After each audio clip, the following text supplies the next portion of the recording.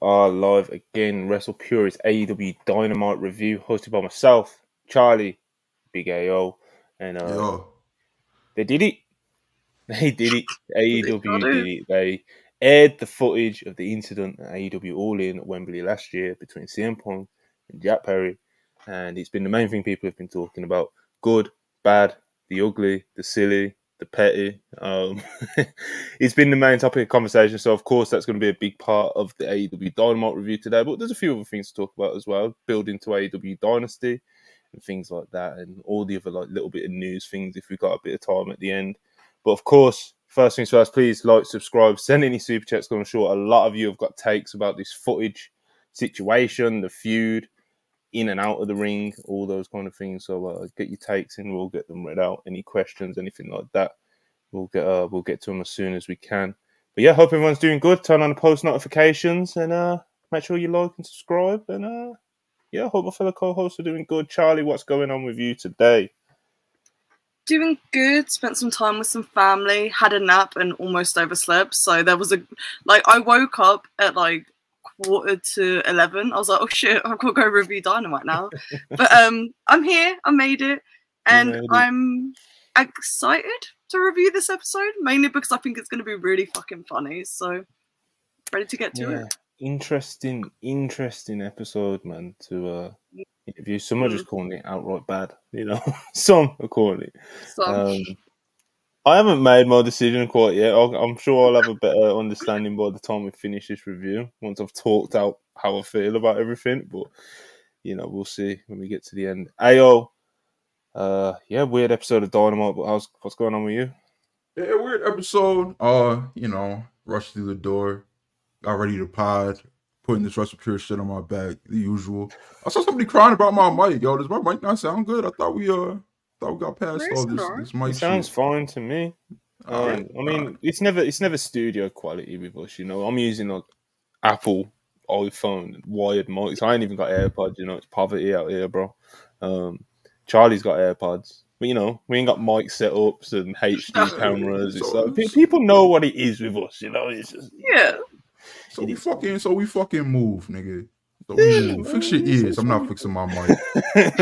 Yeah, it's just Anyway, audience's yeah, fault. It's not our fault. You know. Um, interesting interesting episode of dynamite stuff i liked stuff i didn't like you know i'm not gonna go back and forth with the cucks in the fucking chat or whatever but you know monty i see this i see this i see this oh like this feeling from like the punk stands in the chat or whatever like i don't like that i just never critique aew and maybe you would think that if you've never fucking listened to a second of our content before but i say when shit sucks all the fucking time to the point where people feel betrayed by my opinions, bro. I'm gonna tell y'all where shit sucked tonight. So, uh, suck my fucking dick, you uh, you fucking losers. All right. Um, Punk doesn't like you. He's never gonna like you. He thinks you're a fucking loser. He tells Ibu you're a fucking loser all the time. It is what it is. Let's let's let's get into dynamite. hitting them where it hurts. You know. You know. Before we get into dynamite, though, you know, we're gonna I'm gonna pull up some super chats. So keep them coming, people. 'cause we're gonna do a quick uh, gonna do a quick round of super chats now before we actually get into dynamite itself. So Karan, hundred rupees, appreciate you as always. So the footage showed an act that Punk already got fired for the build to a match not involving Punk or Perry, and it led to Punk chants. Yikes. Yeah, I don't think it got quite the desired uh, reaction, but obviously we're Mm. going to get to that in quite a bit of depth uh, quite shortly. Uh, Shout Karan again. Karan again, 200 rupees. Uh, also, it's incredibly frustrating because until a couple of weeks ago, I was enjoying Dynamite with even the weaker episodes building nicely. This was dog shit. A very weird episode. Uh, and yeah, there's quite, that's been a sentiment a lot of AEW fans because it's just kind of like, what are we doing? Kind of feeling, you know? Um, Anjan PN two dollars. Appreciate you. The list of money, Drink it in, man. Um, so I did say earlier that my list. I said last night when someone asked what my list will be this week, it was like the top five moments where the crowd was just completely dead during AEW Dynamite because there was some. I tweeted it last night, but there was literally like at least like four or five moments last night when Bro, the crowd crowd was fucking sucked, bro. the crowd was mm. that dead reacting to something. I just laughed out loud, you know. Like someone That would hit a crowd pose fucking or someone sucked. would come out and it's nothing. Like it's, just, it's was- brutal, man. You, I feel for the talent. Bro, it was it was it was over 3k people in a in a smaller venue in fucking West Virginia.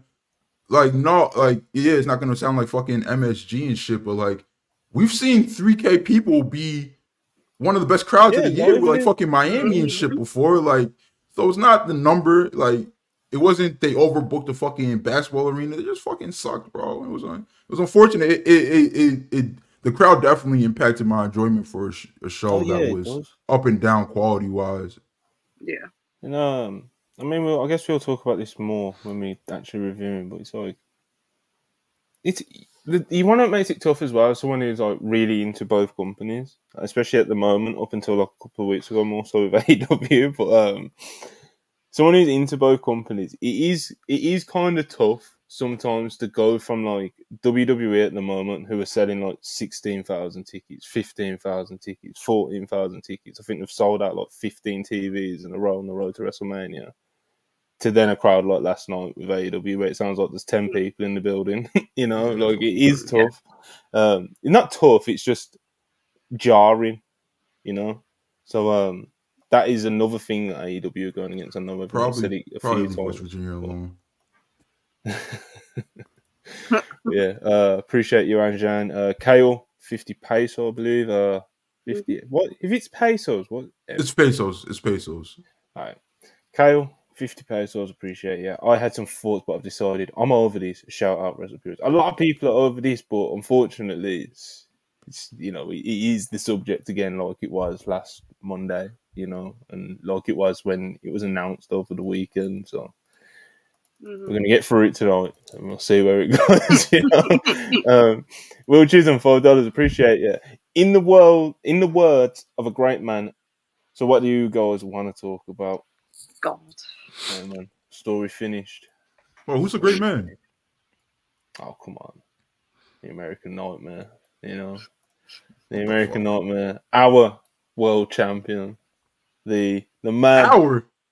The Oh, our our world champion. You know. I wasn't I wasn't aware that he uh regained the ten pounds of gold. It's not my world champion. Get that shit out my fucking face. Cody the bioterrorist. Nah, yeah, it just this this is just you can't hate, you know. It just it just it just rolls off your shoulders on a week like this, you know. Who who cannot hate? And also, we're gonna get into we're gonna get into the real Mark Briscoe enjoyers and the fake Mark Briscoe enjoyers. yeah. Some people enjoy Mark Briscoe for the aesthetic. I'm not gonna point any fingers just yet. But you know, a smile dropped off their face Come on, come pretty on, come on, quickly. So I think they know who's gonna get Come on, exposed. We're gonna get into it later. Listen, I got I got a case. Don't make me. I got a brief. I put out a briefcase. Look, bro, They're they're real Mark Briscoe enjoyers We- and they're we'll get fake Mark it. Briscoe We'll get- we'll I'm just going. Kale, I'ma just let y'all know that right pesos. Kale, 20 pesos again. Remembered, remember Tony is champ, so I'm no longer positive. I'm crying. Uh, Come on, brother. Hmm. Hmm. bro, I saw somebody tweet that this that this thing is going all the way to Wembley, and I'm just like, Oof. That's Sounds crazy. Because Mercedes isn't getting in the ring until double or nothing, bro. You know. Yeah. So, um. And yeah, yeah. at first when I seen that, I saw that, and I like had a visceral reaction. I was like, "You know, the fuck, it's not you fucking idiot." And then I was like, "All right, bro, Mercedes not even getting into the ring until double or nothing." She's about to don't beat, she's Jamie about to is. beat uh Thunder Rosa. Like nobody else is really like cooking on the undercard, like bubbling up to go to the world championship, unless the Statlander thing is to put her in the world title picture. But I don't know what's going on Mm. over there. I don't know. I guess we'll see. But Yeah, Mercedes, Mercedes, Mercedes. That's another. like, yeah. Yeah, obviously we'll probably spend the most time out of the segments on Dynamite on the footage and hmm coming out of that, but the Mercedes thing as well. Even considering it's such a short segment, I think her usage at the moment is definitely a conversation. Um, oh yes. So yeah, um, Hush one ninety nine. Appreciate it as always. I assume with the copywriting, TK regrets this law. I mean, I'm not a copyright lawyer, so I don't know, but there is a lot of talk that you know uh, you can't just put CCTV out there if it's been filmed in the UK or whatever. It's different laws and stuff. And Stephen P. knew uh, he did a tweet that may have been implying something about that. So it's like I don't know, but obviously the WWE fans that love to just kind of point and laugh at AEW, they they've ran with that, bro. You know, like, Yeah, yeah. like Tony's getting sued. It's the end of AEW, and fucking idiots, you know. But I'm, I don't know, I don't know. Um, Push again, one ninety nine. Appreciate you. Punk is my favorite for gain more respect. To be honest, Like, there's, there's a lot of people saying actually. It's not even like a Yeah. surprising super chat to get today. Uh, Yeah. Dragon Master Adam, two pounds. Appreciate you. Their scapegoat, my savior. Many people are saying this, bro. Many people are saying this. Many. Anjan PN, two dollars. Appreciate you again. Uh, promotional malpractice. Just kidding. Hashtag we want Joe. Hashtag man. Yeah, Joe's uh, Joe was like 50-50. Yeah. um, at press time when when I put the tweet out, but unfortunately he's not going to make it tonight. He's definitely off the cards. Don't want to get anyone too excited because I know he uh, he gets big pops, you know, like the Road Warriors. Um, Showtime Spurs five dollars. More embarrassing: AEW DMCA in their own segment, or Chelsea going winless against Burnley Sheffield in a week. Hashtag thank you, Patch. Um, so here's the thing, Showtime Spurs. Like, the AEW DMC, I think, is absolutely more embarrassing because it's out of character for them now. Whereas Mhm. Chelsea, Chelsea Football Club, are just shit now. Like it's just reality of it, you know. Like us drawing against Burnley and Sheffield is just like, yeah, sounds about normal for a Chelsea fan the past two years. So it is what it is. Patch out. Anyway, Anjan, two dollars. Appreciate you. Respect the EVPs and the scapegoat. Hashtag release the Snyder Cut. Angie, Angie cooking. Oh my god. the Snyder Cut. Jonathan Gomez, 199. Appreciate it. Malakai Black got a hell of a kick for a scammer. I mean, a lot of Twitter Yo, discourse today around the Zelina Vega just- outfit, gear. I don't know. Go go to Hey, their bro, these these these the these into Alina it and and Malakai allegations, fucking hilarious, bro. Just Malakai sitting in a black ass room pretending to be his wife's personal assistant. That's nasty. Oh, Push dear. 199. Is Hook going to the Fed? Question mark. Taz put in the call? Question mark. I don't know, but that is an interesting story. where Somebody said that. Uh, from, so. somebody said SE Scoops reported it, but somebody said they deleted the report. Interesting. The report. I didn't go and verify it, but somebody said they deleted it. Well, let's do it. Well, you know, fuck it. Let's do it right now. So, SE Scoops, for those that don't know, they put out a report earlier today saying that Hook is interested in in exploring his options in free agency once his contract with AEW expires later this year. A source familiar with WWE's recruitment strategy commented, quote, I can see WWE clearly being interested in him, end quote. So that was SE Scoops earlier on today. And AO saying he's saying something It that is. may They took it down. Interesting. they've took it Uh, down. Well, Lowe it's still on the said, site. Peyton Carter I said they took it down. Lowe said they took it down. Uh, Kale said it is in fact deleted. I've got it up right now on the website, so Interesting. Hmm. Or maybe they deleted the tweet. maybe they took did. the Yeah, tweet yeah, yeah. I, mean, I don't know, but it's on it's on their front page, bro. Like if you go to scoots.com, Yeah. it's on their front page, top story, two hours ago. Um, so yeah, we'll get a bit more into that and talk about the possibilities of it. But I just wanted to clear that up before we talk about a scoop that may have been retracted. You know. um, anyway, uh, Jaden four ninety nine appreciate it. My scapegoat Drew eight hundred and nineteen k yesterday. I speak for everyone when I say Jack Perry clears CM Punk. I mean, some a lot of people say that. A lot of people say the opposite. It's definitely a divisive one. AO's no one knows how you get down tweet had me dead. AO's Oh, uh. Look, we're just gonna have to question. First of all, thank you, Jaden.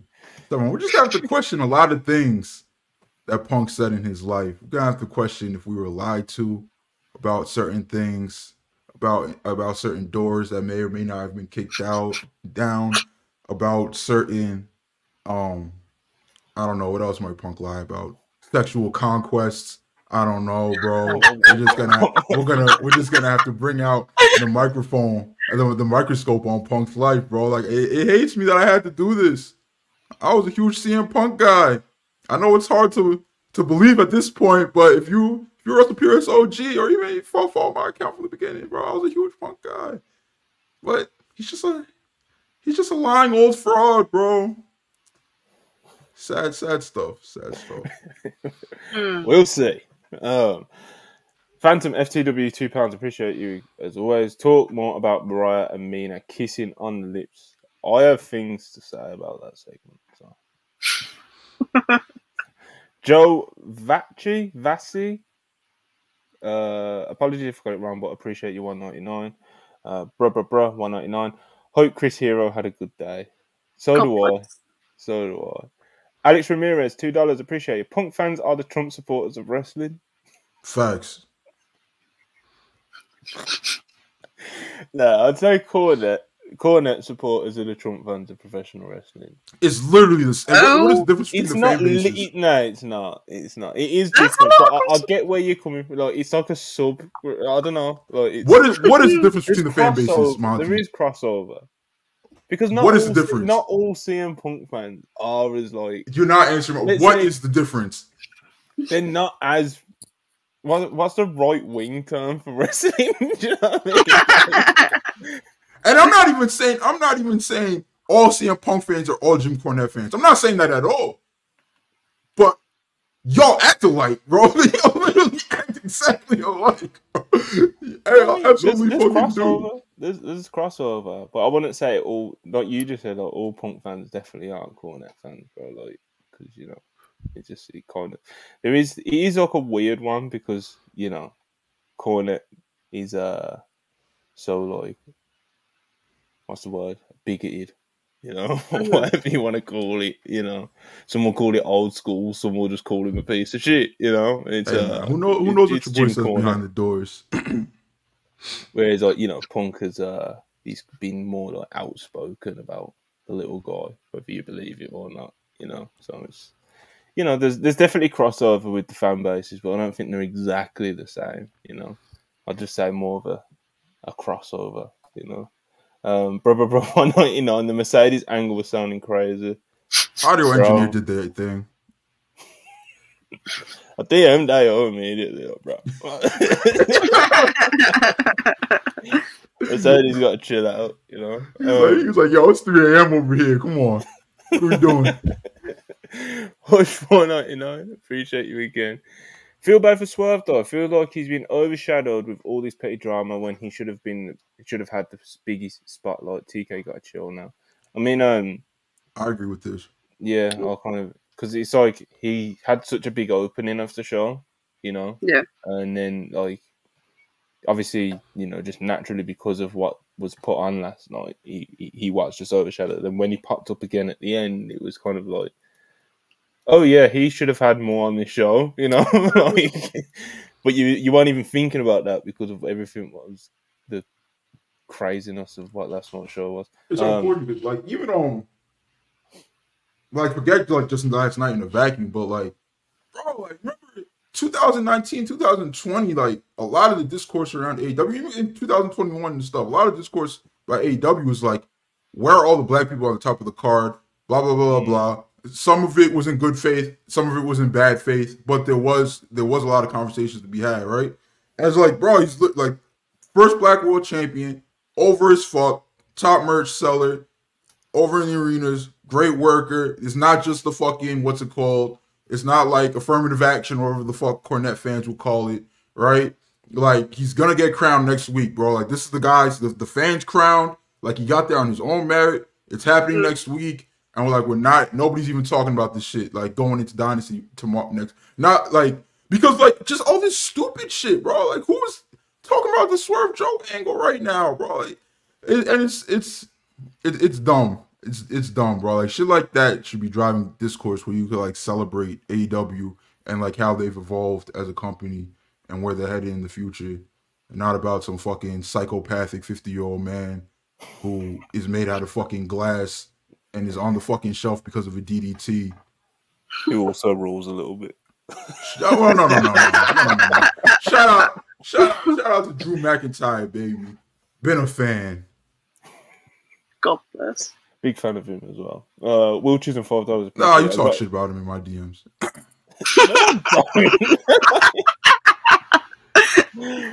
Will choosing five dollars. Appreciate you again. Got to give Mercedes this. She got paid working until double or nothing. I had to believe she's not ready. Yeah, that is definitely the belief amongst. She's amongst- she's not she's not fucking clear. Like- And I feel like they should have just been honest with that, bro. Like bro.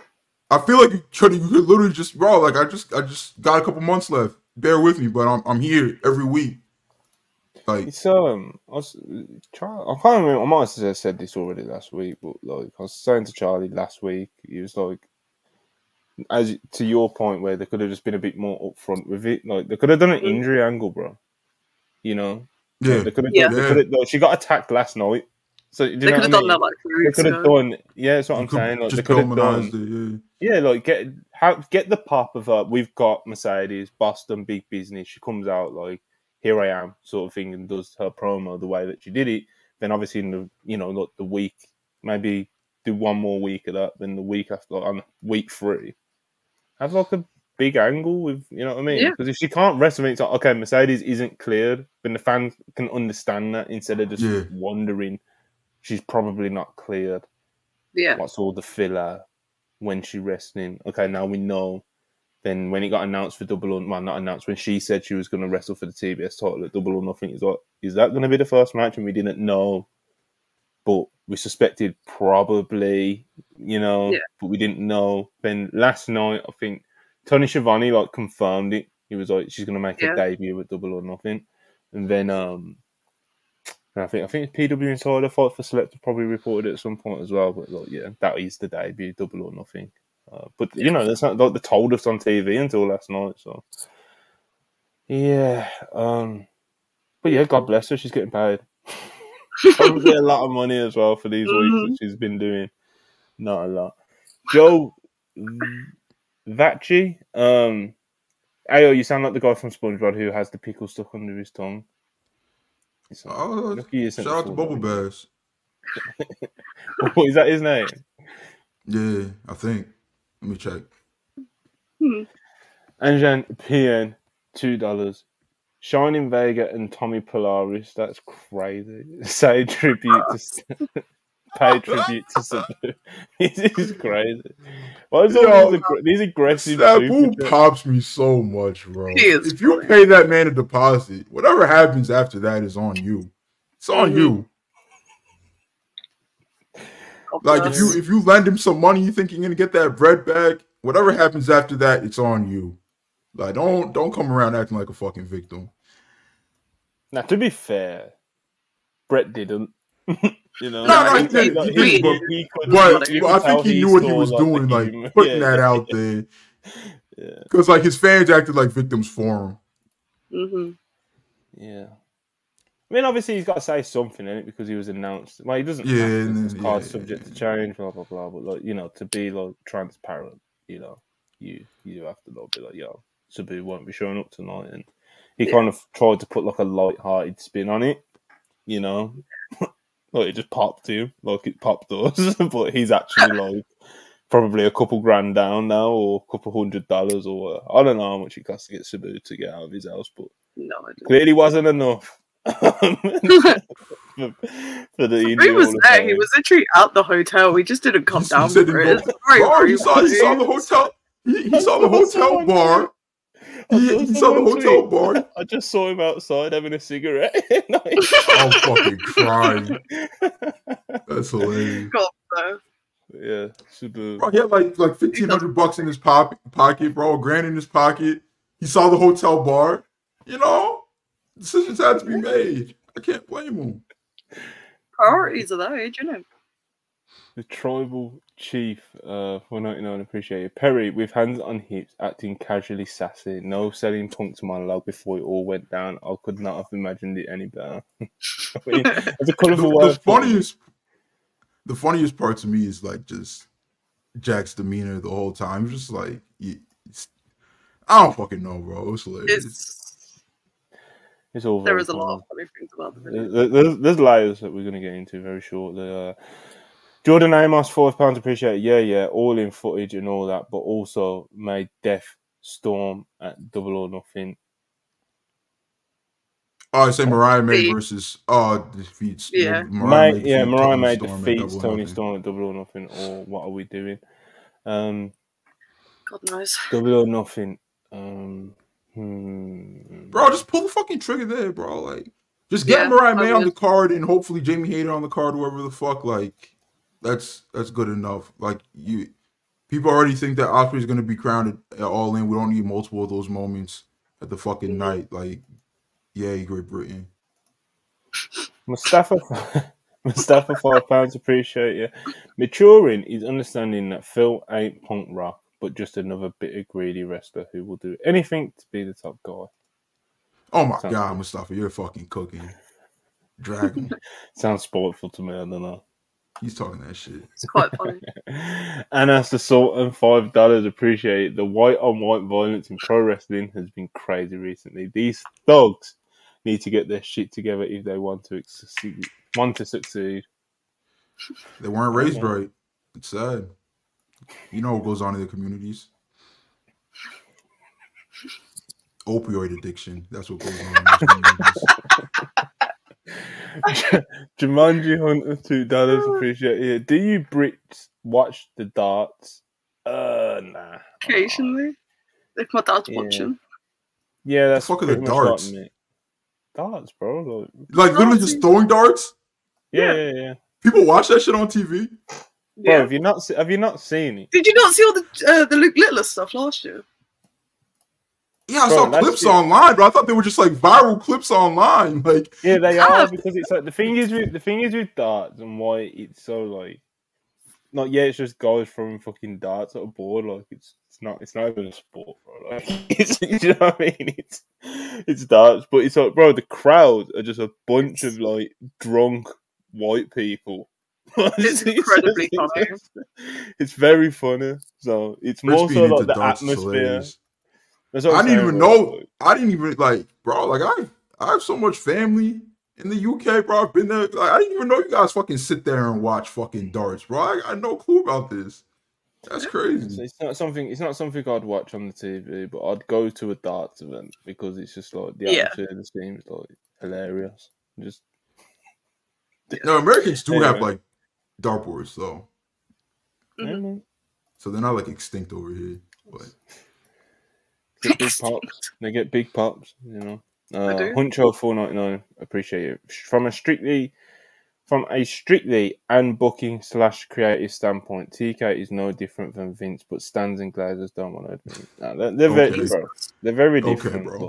but- bro, even if you want to say being Vince is better being, than yeah, that's what I mean. Be, yeah, so Like- even being bad doesn't automatically mean Vince. Like wrestling, Yeah. wrestling bookers over the years are like awful in their own unique ways. You know, I was kind of touched on this last night on Twitter when we was talking about like WCW 2000 and TNA under Hogan, and it was just like they're all unique. and it's like when AEW's awful, it has their own unique flavor of shit. You know, and uh that's just it, but I don't think Tony Khan, even when Tony Khan's terrible, it's it's not in a Vince way, you know. like, yeah, like even just strictly booking wise, like I'm not talking about being being a pervert or anything like that. Like just strictly Mhm. booking wise, like Vince had his own flavor of just garbage, you know. so and so does Tony. So that's just bookers for you, brother. Hush one ninety nine. Uh, y'all think AW perception is back down again? It's not great at the moment. Um, It ping pongs a lot. It could it could have been avoided as well. So I don't think it's like in the mud or anything like that. That's dramatic, but it's definitely like lower than it was. It's not October 2023. bro. Like when fucking when when Dynasty is generational, it'll be fucking back, and then it'll fucking the fatal promotion will hang on every fucking dynamite, like it always fucking does, because motherfuckers are so hyperbolic on both sides, bro. Like, Mm-hmm. Bro, bro, bro, 199, appreciate you again. Claudio versus Ospreay gonna have me wait, making wings. Jesus Christ. bro, that's a crazy match just to be able to throw out there. More of this, bro. Hell yeah. Less of the fucking, Oh yeah. less of the other shit. More of this. Absolutely. Uh, Huncho four ninety nine. Funny, the same people who are polluting public discourse with MJF bad takes and trying to run him out the promotion suddenly asking for him to come back. I Huncho, mean, you look okay, bro? Like, are you all right? I haven't Like, you're having a really bad time in the chat today. bro. I just want to make sure you're okay. Thanks for the five dollars. I haven't really seen anyone talk about Max either way recently. oh no, you get. Oh, whenever something, whenever something good happens, it's like we don't need Max anymore. like, it's then, Yeah. When something bad happens, it's like you know what, MJF. You know we miss MJF.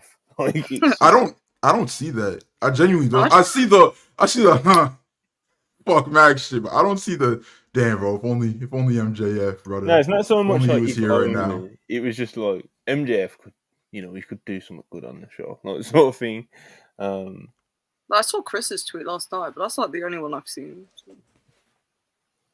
yeah. Um, well, so more about. I'm just trying to catch up on this WWE talent relations stuff because it's all.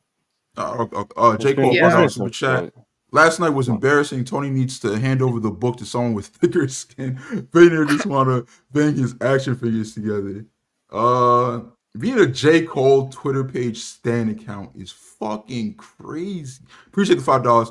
Uh, J. Cole. I'd like to apologize for my previous super chat. AEW is a huge positive for the wrestling business, and Tony Khan has done an amazing job in building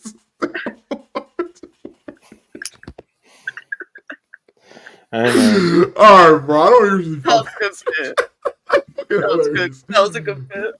Oh, that was that was fucking hilarious. Good bit. Thank you for the thank you for the fifteen dollars, Yes. Mr. Cole. I probably won't be streaming the fall off. I'm sorry, but uh, I hope my I hope my J Cole friend fans enjoy it. Uh, Anna's the Sultan two dollars super chat. Brawling was so baby girl. Oh my god. Uh, there are people that talk like this in real life. There sure is. yeah, you doodles. You, you talk like this in real life. Uh, speaking of which, Ibrahim and DA, Russ Pierce on backup hangman, five dollars super chat. There are positive things going for AEW. It's up to the company to emphasize them and avoid self-inflicted wounds. I agree. I agree. Good take. And with that, let's talk about some self-inflicted wounds.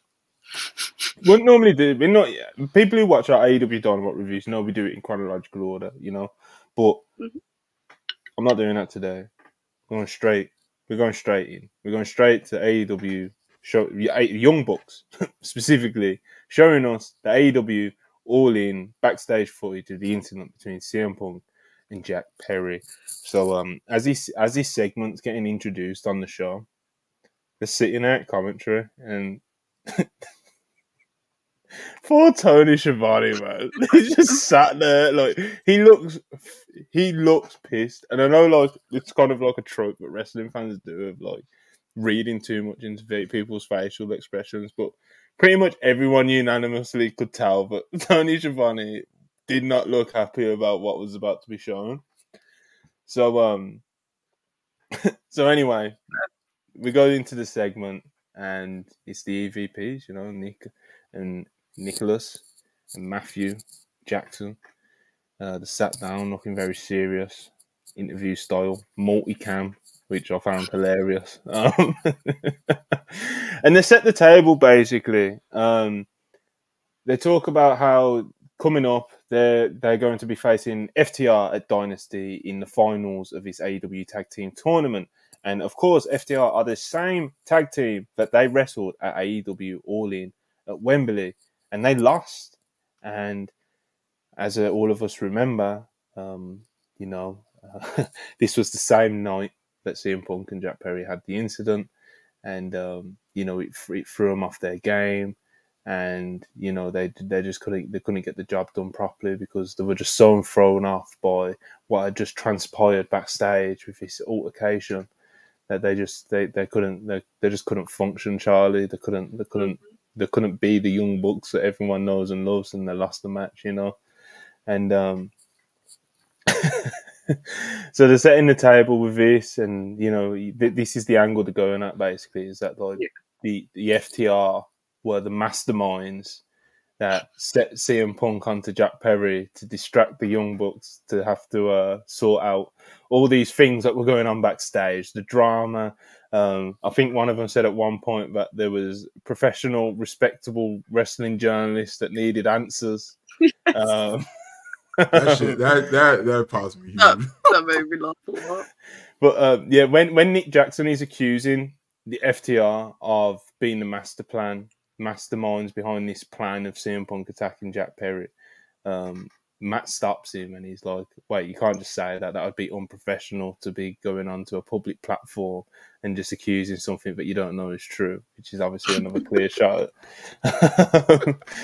another clear shot at CM Punk. Um, the say CM Punk tried to make the show about himself. Jack Perry, you know, he's just a good California kid. He's been made a scapegoat, and he reminds us of what we were like when we were younger. You know, the talking glowingly mm. about Jack Perry calling him a scapegoat.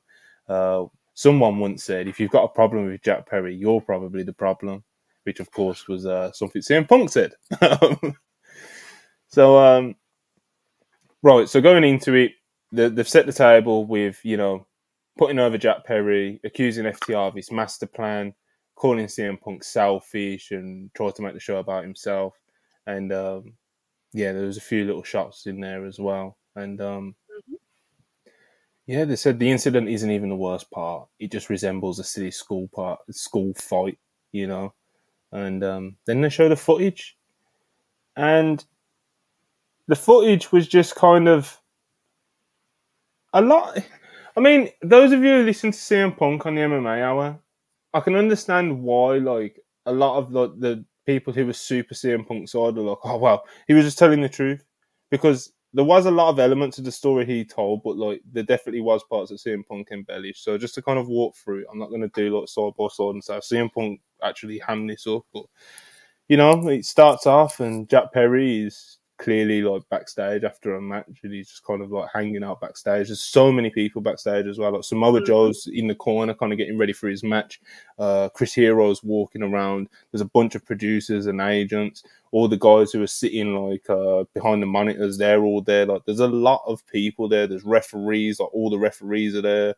Um, there's like 20 people there. There's a lot of mm-hmm. people there. It's not like it was just like a few talent and referees and do you know what I mean? Like there was there was higher ups there. You know what I'm saying? Like Pete, like there was some heavy yeah. hitter there, and there was a mix of everybody just kind of hanging out backstage. So, and then you see like CM Punk coming to screen, and uh, he walks straight up to Jack Perry, and they start talking, and it seems pretty chill. You see, he does seem pretty chill at yeah. first. You know, they're just kind of talking. Obviously, this is you know CCT footage. It's not 4K HD. You know, so um, and there's no sound either. This is all in silence you know, they're, they're just kind of talking, going back and forth. You can tell they're going back and forth. Jack Perry's like kind of sorting his hair out as well, and it seems like pretty. You know, not neither of them are like squaring up or anything like that, or put or like you don't seem like anyone, any of them are shouting or anything. But they're talking and they're talking, and then at a certain point, it gets slightly more animated. I'd say. I've watched it. I've watched it an embarrassing amount of times because I'm doing this. Um, at a certain point, it does get slightly more animated, and I don't mean they start like shouting and pointing in each other's faces, but like you can tell that the kind of it's just a little bit more like yeah, yeah, yeah. And there's an there's a there's a hilarious part in it where CM Punk kind of like looked over at Tony, you know, and like who knows what he was thinking, you know, but some may mm-hmm. suspect that he was thinking like, yo, what's going on here, you know. But anyway, yeah. CM Punk kind of looks over at Tony Khan and he carries on talking to Jack Perry. They're talking for a few more seconds and then, you know, CM Punk.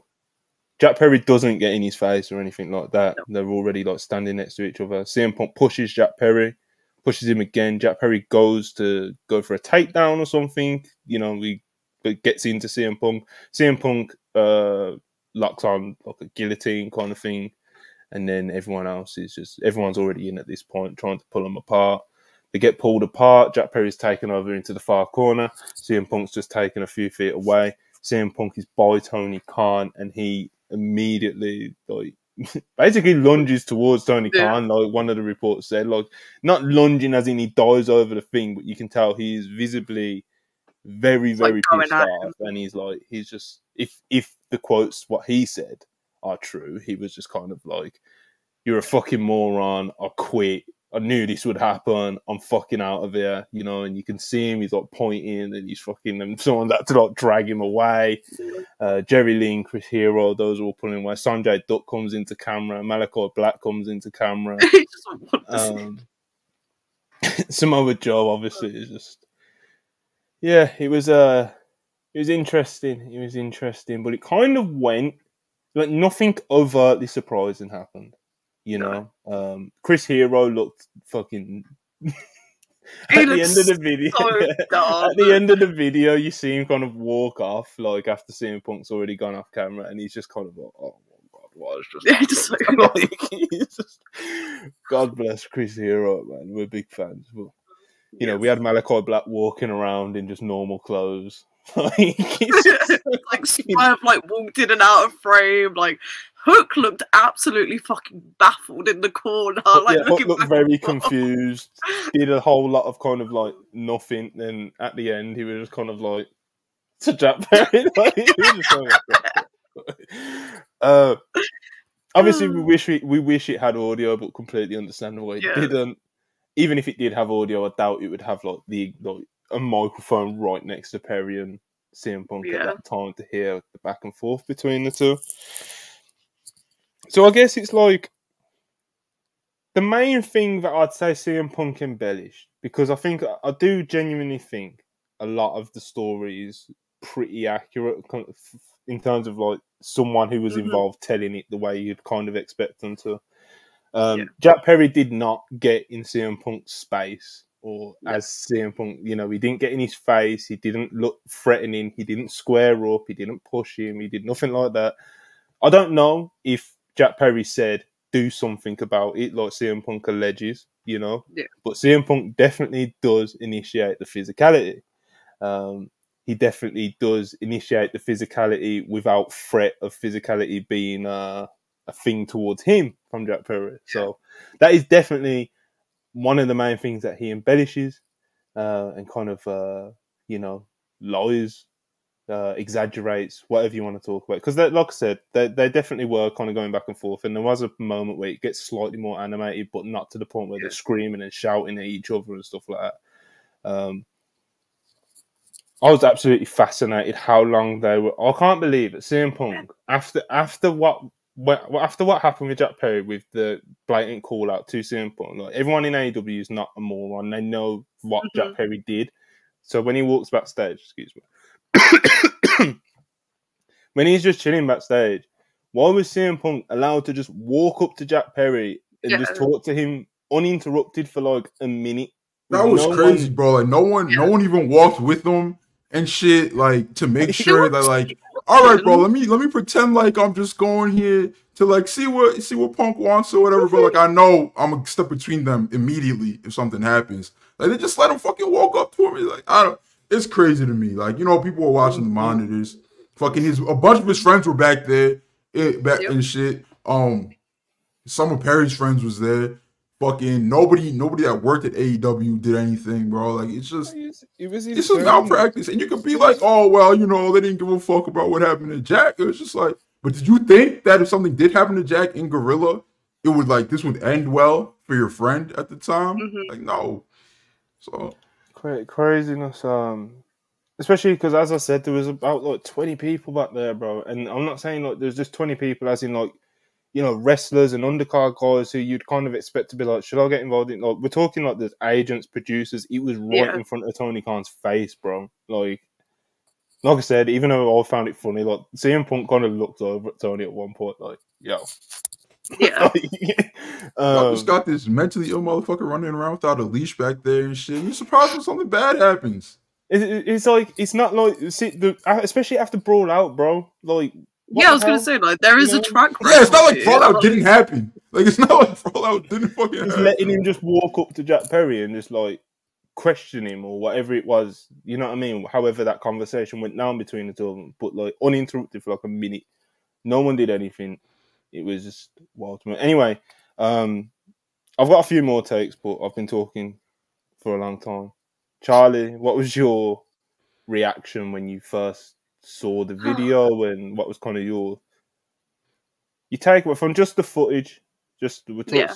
exclusively just about the footage for a minute Um, I wasn't surprised by anything in the footage. I did think it was quite funny that Jack was just like constantly playing with his hair, like because of people. I saw people were just like, "Oh, well, he had his hands up." I was just like, "Yeah, he was sorting his hair out. Like it's very clear that he wasn't trying to do anything with that." Like. I don't know. Like, I don't really have any thoughts on it other than the fact that it's just a really fucking funny video. And Chris Hero had an all-time reaction after it happened. That's one of my favorite God parts there God bless that man. But like I've watched it so many times just trying to pick out what talent were backstage like at that time and it's I don't know, it does kind of make the producers and agents look a bit like shitty because of when you have Mm, someone that has a track record in your company, like of being involved in fights, no matter how all out how brawl out happened or whatever, like when he's going up to someone and it's clearly starting to get a little bit heated, why are you not stepping in already? Like, why are you getting it to a point where he's going to be able to like do something like that? I don't know. I just think it makes him look a bit stupid at that point. But the footage is very, very funny. And if they're going to put it out, I'm kind of glad they did because it is fucking hilarious to watch. So um, yeah there's a few elements about how we feel about them putting it out and Yeah. stuff but yeah, yeah AO a bit more. the footage is out. You uh, you claim CM Punk is a liar. He is a fraud. He's a He's liar. not a, he's not a He's fighter. a fraud. Would you like to elaborate? You know, the thing people? is, you know, I'm not. First of all, the original that he put, the original thing that he said to Fightful, it's fucking like it was all lies, bro. Like, like he said, he said Jack Perry came after him and shit. He said, like, he didn't put his name on it, but we know who put that fucking report out, nigga. Like, who fucking. So he said, he said Jack Perry walked up to him, said he lunged at him, like pretty much made. I don't remember. I don't have the report in front of me, but he pretty much made it seem like he had every right to feel threatened and engage Jack physically, even if he might have been the one who started the physicality. And we watched the video, bro. And it's just a five foot nine, 100, 170 pound kid playing with his fucking hair after his match. You know, he carried hook to a, to a solid one out there. You feel me? Like, you just literally just standing there. And even if he was being a smug little prick, bro, like, don't you got a fucking match to go wrestle? Bro, I don't care. Like, bro, like, I get it, bro. I get it. Y'all love this mentally ill old man. He gave you so many good memories in the past. You're hoping more are coming down the line, bro. But like justifying his behavior at every turn. Oh, it's, oh, it's wrestling, bro. It's not the '90s anymore. It's not even the two. It's not even the 2000s anymore, bro. Like nobody's allowed to act like this in the locker room. And yeah, there there are fights. There there are absolutely fights in AEW and in WWE that like we've heard about that nobody no fucking knows about because it didn't make it to the sheets and the people have been able to work together and shit afterwards. But it's just like, bro, like they're not doing it in front of their boss. They're not doing it in front of 15 agents. If they were, it would hit the sheets. And if they were, these people would be getting suspended. Like they they're like it's I don't know, bro. Like y'all the the way y'all bend over backwards to, to suck your man, to, to suck up your man is nasty. But that's enough on the punk fans and uh punk himself. AEW putting that shit out at this point, at this juncture. It's just like why? Like if you were getting ready to bring Jack back and you wanted to get him some like company fan sympathy on him, you you throw him out, you throw that shit out there, you control the narrative and shit, right? But no, they let Punk control the narrative. They let him get his shit out there to his to his punk cultists and shit. And then they're like playing defense, dropping this shit. Like Tony Khan, bro, like you're the biggest CM Punk fan on earth. You was on the message boards posting about this nigga 20 years ago. How did you not know that your cohorts was gonna be online? this is so fucking beast. Punk is so beast. Oh my god. Jack Perry's a pussy. Like, how did you not know that's what this this was gonna happen? Like, and you're, you're like trying to get heat on the elite.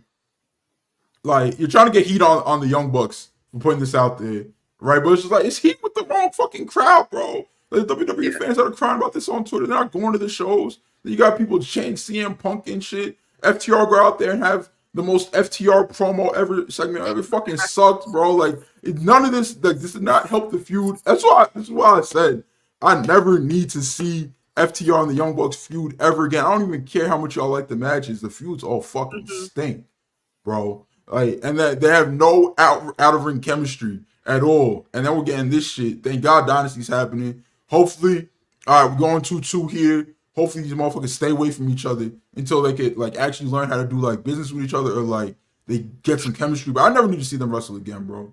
I never need to see them wrestle again. Agreed. Yeah, it's um decisions were made, you know. Decisions sure. were made. They definitely definitely feels like the you know, even the reports have been that like this is kind of this is basically all in reaction to the Ariel Helwani interview that CM Punk did last week and it's just all kind of you know, uh, I don't know man, it's it's tough, but anyway, after after the Young Bucks shown the footage, just so I can kind of round up the segment before we um before we wrap it up. They were just kind of like this. The fight wasn't even the worst part. The worst part is that we created this huge show. We named this huge show a biggest show of all time, and we was being distracted by this bullshit basically. And FTR, after they beat us, have the nerve to try and shake our hands. We ain't shake, you know, we ain't shaking your hands, you pair of pricks, or something. So uh, Nick Jackson said. um, but yeah, man, the foot the footage was like I said, it. You know, if we are to believe kind of reports and kind of what the narrative and also kind of a bit of common sense, it's that you know, CM Punk did his MMA hour interview with Ariel Helwani, and it was very much a you know his version of a tell-all interview of his experience in AEW, and I think, regardless of whether you hate CM Punk or not, he definitely did say some things that obviously made AEW and certain people there look a certain way, but it wasn't an interview where he kind of went on there and was just like, Hangman's a fucking idiot, books suck, blah, like it mm. wasn't that tone at all, you know? And I think the person that ended up getting the most shots and coming out of it looking the worst was Tony Khan. Uh, because of course CM Punk talks a lot about Tony Khan's leadership and how things could have been avoided and how he brought up things to Tony Khan's attention. Nothing was done about it. How Tony Khan wanted to do collision and he knew it wouldn't work and not addressing certain things. And obviously after the fight with Jack Perry, he's he said like he, he quoted himself in calling Tony Khan a fucking moron or an idiot and that he quits and you know, he was like Tony Khan's not a businessman, he's a nice guy, blah blah blah. And yeah, I'm not saying Tony Khan was the only person who caught a lick in that interview, but like I said, coming out of it in terms of like if you had to say who is number one person who received a few licks, it was definitely Tony Khan because Mhm. you know, and obviously clearly Tony Khan felt a way about I felt a way about it. It, it struck a nerve, it triggered him, it hurt him, it upset him, however you want to frame it, you know, it clearly triggered him, him in some sort of way or another. So he was like, yo, we're gonna put out this footage, bro. I'm dropping this footage. So he's gone to the Young Bucks, like, yo, let's drop this footage, and the Young Bucks are like, fuck it, you know, like was Ray Keller put out a report. Uh, well, he was talking on a podcast. It wasn't like a full-on report, but he was saying, like, you know, we heard that like the Young Bucks didn't really want to do it, and it was a Khan idea. Then like that's kind of been Yeah. refuted a bit by multiple places now, where it's just been kind of like it was Tony Khan's idea, but the Young Bucks weren't like against it or anything. But Yeah. so at the same time, like it was a Tony Khan idea. I doubt the Young Bucks were like banging on Tony's door after the Ariel Helwani interview, like, oh, we gotta show this, bro. You know. Um, So Like I said. um, had a couple sources report back to us on this, and we all got we all heard the same thing. People that asked, it was basically like the Bucks didn't want to do this. They were concerned about the legalities of doing this. They didn't want to open themselves up to be sued. And then TK was like, "Oh no, it'll be fine. Let's just do it. Come on, let's do it." And they were like, "All right."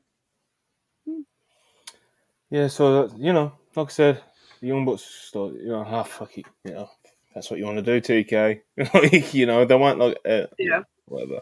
So that's kind of how I feel about it getting out in the first place. So it's like Tony Khan's ego or whatever was kind of like hurt, or he was upset, or he felt a certain way about it, and it was just kind of on him to just uh, be like, "This is how I'm going to react," you know. And Uh, TK, TK, bro. I know you haven't been to Tony, uh, not Tony Khan. Oh, fucking CM Punk hated along But as somebody who's been somebody who's been flying this flag since all out, brother, the and even somebody who's been a fan of him since the fucking oh whatever's right, like 09, bro. Like the if you want to get your revenge back against CM Punk, all you have to do is wait.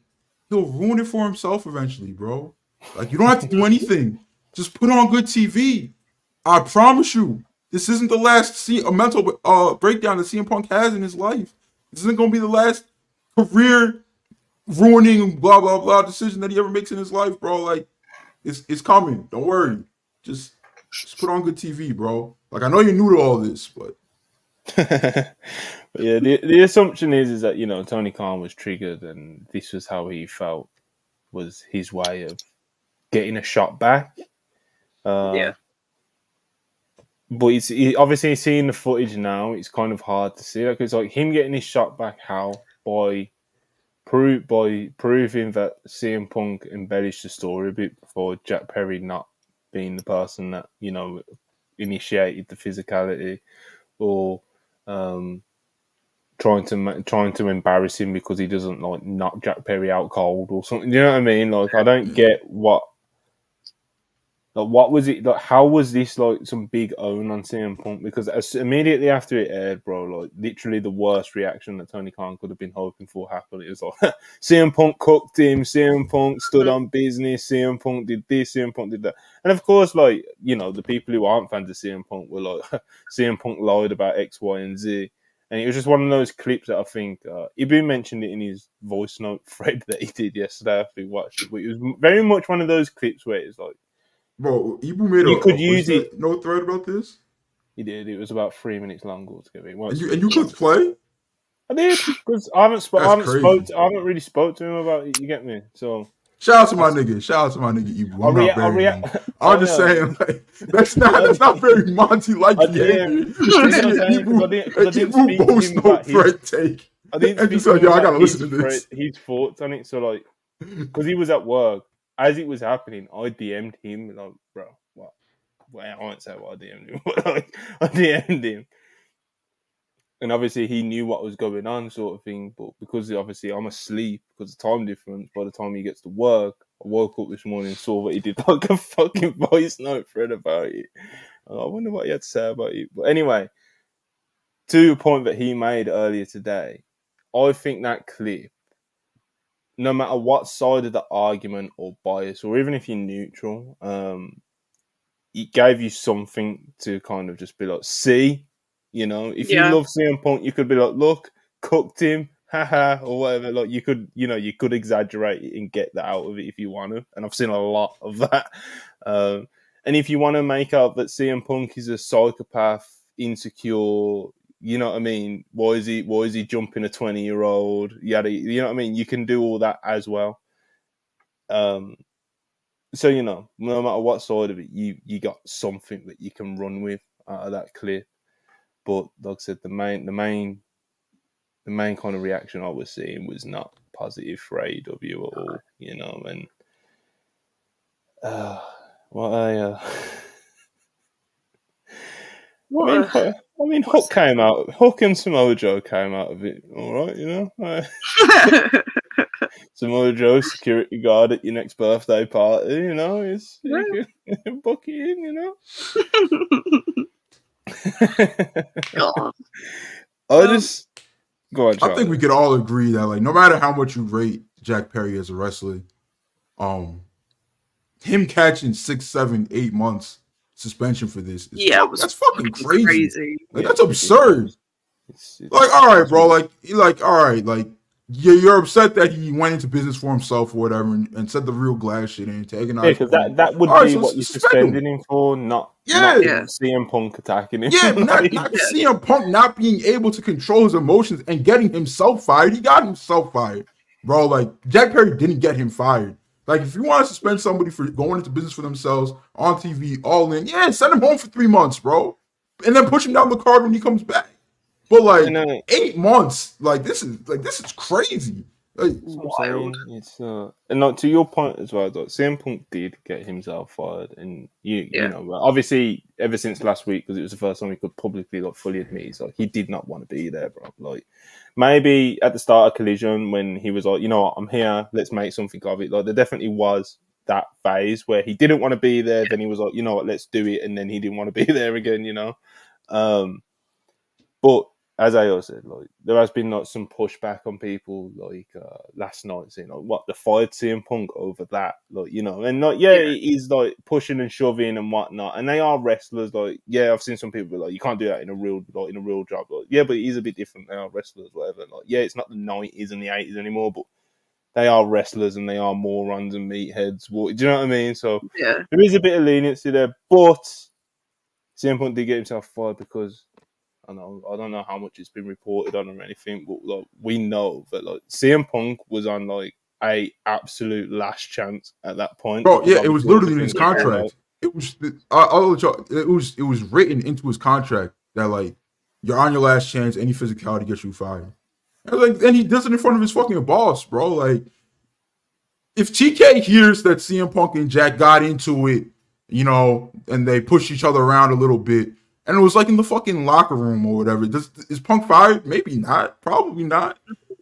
But he did Yeah, it fucking brawl gorilla in front of does- yeah, everybody, bro. out Like, doesn't happen or anything like that, and this was just a yeah, and then like, bro, isolated he did incident, brawl out to then- his fucking side, like. yeah, he probably doesn't get fired, but he was on his Yeah. last, last, final written chance. You know what I mean? Like Yeah. it was.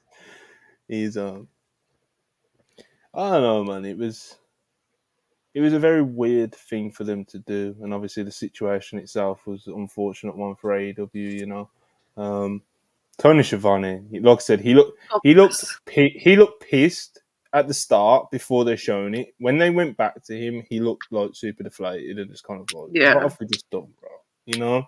And again, I hate doing the kind of like, oh, let's super examine this person's face. But with Tony last night at the commentary desk, whilst this segment before and after was like pretty like, you can't ignore it. Like, we're not the only podcast Yeah. that's talked about it. Do you know what I mean? Like, it was, uh, it was crazy. It was crazy. Like Tony, Tony Schiavone. I don't. I think it's. I'm gonna have to go pretty back and look at that because I, I I genuinely didn't notice, but I also I saw the clip. Dynamite Twitter. very high, so The I need to- the funniest I need to- I one need is to go check. before. the funniest one is before because he looks just like, what the fuck are we about to do? like, Yeah. then after he's just kind of like, literally like sat with. You look like Chris Hero. it's just why did we just do that? Um. Oh, dude. All right, so that's like the actual footage itself. And I think I'm of- right about where it's going story wise, though. I think that it is going to get us to the um Christian Copeland Bucks all in match. So You are, you are cooking. This is the direction I want to go in now. It's kind of like the point of it and stuff. Um, Mhm. Because what, what I actually want to say about this is that I think, bro, the actual promo itself and the points they made in the promo were good. You know Yeah. what I'm saying? Like their their grudge and why they feel disgruntled towards FTR, why they didn't shake their hands, uh, why they lost it all in in like their deluded, delusional Yeah. heel They could've way. prayed. You know what I'm they should have done all of this without the footage. Honestly, That's what I'm they could have saying, bro. Yeah, it literally. I was with it, like listening to him, like cut the Yeah. promo, and it literally didn't need the footage whatsoever. Like, I'm not just saying like, oh, you could have like changed this line or something, bro. I know AEW already uploaded it on YouTube without the uh without the footage, but obviously they like talk about the footage about to be shown and roll the tape, blah blah blah. You know what I mean? But like literally, like this same promo with the same storytelling beats and everything could have been done literally without the footage. And I think we'd be all be talking about this segment very differently, you know, Yeah. because obviously we'd be talking about like the storyline progression from this segment and stuff like that, and how you know they've weaved it in without being like super like corny about it, but they've also still managed to make themselves look good. Like like the lines about Jack Perry about like you know he's the scapegoat, and he kind of reminds us of the younger us, and like even like the little petty shots at Punk. With the context, that say if they didn't use the footage as well, it's like Yeah. they were like, you know, they were sly, funny, harmless little digs. Do you know what I mean? Um, But then they showed the footage, and it's like the footage didn't even like describe or add anything. Do you know what I'm saying? It's not like they were like, "Oh, if you if you look, Jack Perry was a victim here," and I don't know, like they could have done like some beats out of it or something Yeah. or whatever the fuck. Or say if FTR were in it, they could have been like, "See, FTR were there orchestrating it," or do you know what I mean? Like they could have, u- but they didn't. They just showed us the footage. It had nothing to do really with what. It didn't further anything. It didn't reveal anything in terms of like Yeah. kayfabe. Like it was just you know, we was put off we was put off on this night and we blame FTR for it and like here's the fight that happened. Like, like it didn't Yeah. it didn't prove anything, you know what I mean? It didn't amount to anything, the actual footage. Then I think as AO kind of touched on loosely, like dynamic wise, heel face wise, it's completely confused the crowd. And I think that was kind of evident with the angle that they did with them later on, like because it literally doesn't make sense. like because the A- if you're the AEW faithful, AEW fan, Tony Khan, AEW locker room or anything, like in theory, you basically agree with the Young Bucks. You know, CM Punk was selfish; he shouldn't have done that. Mhm. He tried to take away from the biggest event. Yada yada yada. Obviously, you know that isn't obviously that isn't what the fans are thinking. Oh, that's what the Bucks lost. You know, obviously that's clear KFA. But like that is kind of like the narrative, the AEW pro AEW side narrative. But they're the heels. Mhm. like, so it's like, and then FTR, who are being framed as friends with the bad guy, the big mean bad guy, they're the baby faces who are now who then go out and do a promo like, oh, you know, we want AEW to be the best. So the crowd, like, what the, the crowd don't know what to do with it. Yeah. so it's like It is a really weird dynamic. It's it's it's dumb. Like it's super dumb in that sense. Like it, it's the crowd's just confused and it literally don't make sense. Um, reaction as I've already said was not desired at all. Um, one thing I've not seen anyone talk about, and I know I'm kind of talk waffling and waffling a bit now. I know there's been reporting about like this was Tony Khan's idea. The Bucks were cool with it. Obviously, CM Punk wasn't asked about it, but like I've not seen anyone s- t- tweet or report that like does any what did Jack Perry approve this? You know, like did Jack? I've no Oh, you know, isn't he the I- I don't know. The, top of the list of people who wouldn't want this out? Yeah, You know I I wouldn't. mean? I wouldn't. But um, I what what I forgot to add into like what Russell Pierce heard. Um, we also heard that like the Bucks like finally agreed to do it when they were like, "Yo, if this can be used to bring Jack Perry back into AEW, fuck, fuck, it, we'll do it." So I don't know if he approved or disapproved, but I'm sure he's gonna be happy to be able to move home and be on fucking TV again. Mhm. Speaking of which, Someone back back months, the scapegoat, the scapegoat, Jack Perry is the top seller in New Japan Yeah. Pro Wrestling. My precious Sure. Shin Nihon, Monty, how do you feel about that? How do I feel about Jack Perry? How do you feel about that, Monty? seller? How do you feel about that news? Oh, I, I, I wish I could give you like give you something right now, but like I, I, I, tr- I truly don't care. Like, it's, You're so mad. Yes, you're so mad. The scapegoat is just. It's just it's just drawing drawing fans and selling out we t-shirts. live, the scapegoat I didn't I didn't talk to you about anything before we went live. The scapegoat t-shirt is si- is sold out in all sizes. Every single size, Monty. Uh child small, child's medium, child's large, adult small, adults Gone. medium, adults large, extra large, double extra large, triple extra large, quadruple extra large, six sextuple extra large for the CM Punk bro. fans. They're all gone.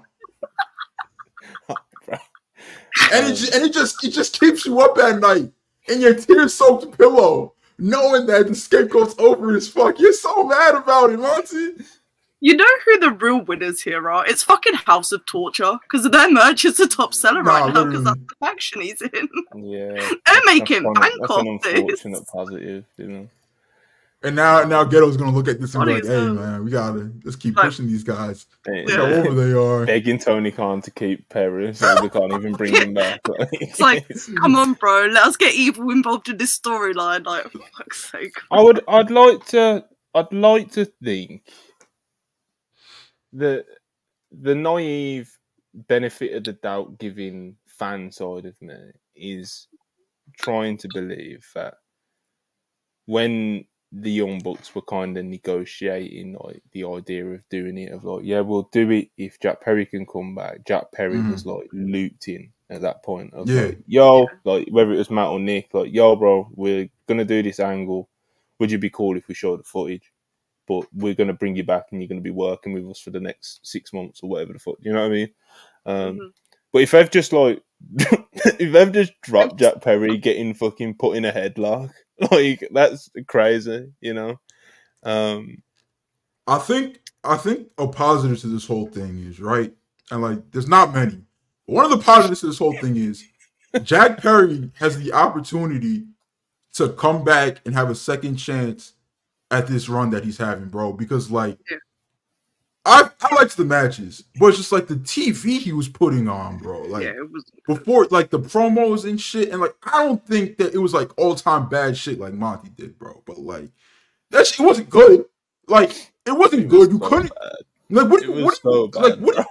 Like like Monty, what do you do with him after after all in, bro? Like if he doesn't get the second chance. So I think I think this is good. I feel like he should have took acting lessons Uh, on his time off. I, am not. I don't know if he did or if he didn't, but he's definitely a better promo now than he was when he left. And I'm not saying he's fucking. I'm not saying he's Roddy Piper or anything now, but I I think it's more than serviceable. And if he could if he could cut these promos that he's cutting in the New Japan backstage in a ring, and then keep up the work rate, I think we got something there. But we're, we're gonna have to see for translates to TV.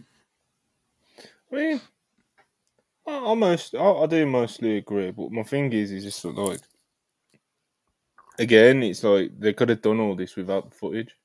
You know? Yeah, Like, yeah, where Yeah. do you go with Jack Perry after all in? Like, that is a very valid thing to bring up. But you could just be like, well, they could just bring him back with the Young Bucks now, like they're assumably going to, but without showing the footage. do you know what I mean? Like, you can Oh, still no, no, call him I the meant, uh, scapegoat. You can still I do meant. I meant off of like his booking, like because like he did the hook thing, and it's just like you you can't really send him up the card because like the quality of TV that he was putting on. I like where do you where do you bring him back? It's just like what what do you, what Oh, do you yeah, want yeah, him to he work on the card and stuff like. He definitely had to go away. But the definitely, even if even if the CM Punk thing didn't happen, that had to go back to the drawing board with him because, Yeah. as I just mentioned for me, I thought they were putting out some god awful TV with Jack Perry as a heel. Um, I mean, like it affected his in ring as well. Like he's still a good worker and stuff. Um, he don't really have many good matches at the moment, but obviously House of Torture and shit, you know, it, it's what it Yeah. is. But um, he was such a good baby face underneath worker, you know. Um, but yeah, so like when you strip that away from him and make him just kind of like nothing really special about him in ring, and then he's doing terrible gimmick stuff as a heel, like it's, yeah, I thought it was awful, bro. Um, but anyway, like I said, they just did you're not. They didn't need to. scapegoat.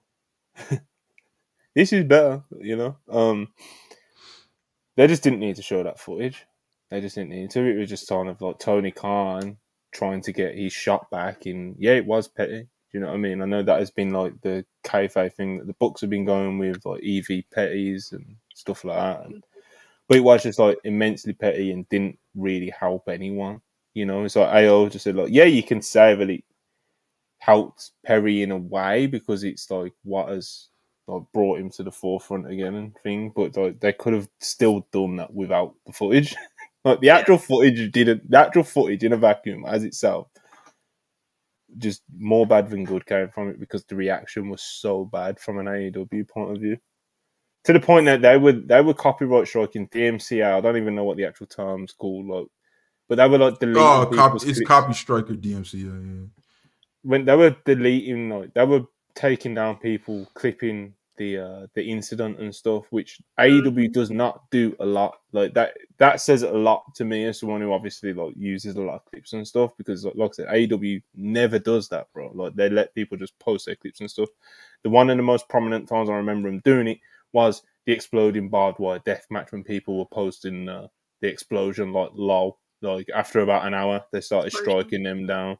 So um you know, based off their track record, they only do that when there's something they don't want people seeing out there. So if that is the Right. case, why put it on TV in the first place? Fucking, I, I- bro. I, I I have to speak on this shit, bro, because the fuck, like, copyright strike, copy striking your own fan base because they a lot of them put it up. Like I got fucking copy stricken, bro. Like my main account did, and like I, I put, I'm gonna put out a counterclaim. It's probably gonna win, but it's like it's so fucking, it's pathetic, bro. Stop doing this shit. You're gonna cost people their fucking accounts. All they do is hype up AEW and shit. If you didn't want it out there, then don't fucking put it out there. You had you had Yeah. months and months and months and months and months and months and months to think about this shit.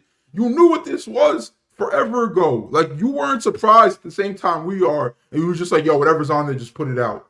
No, bro, it's just like it's, it's pathetic in my opinion. You shouldn't be doing that shit.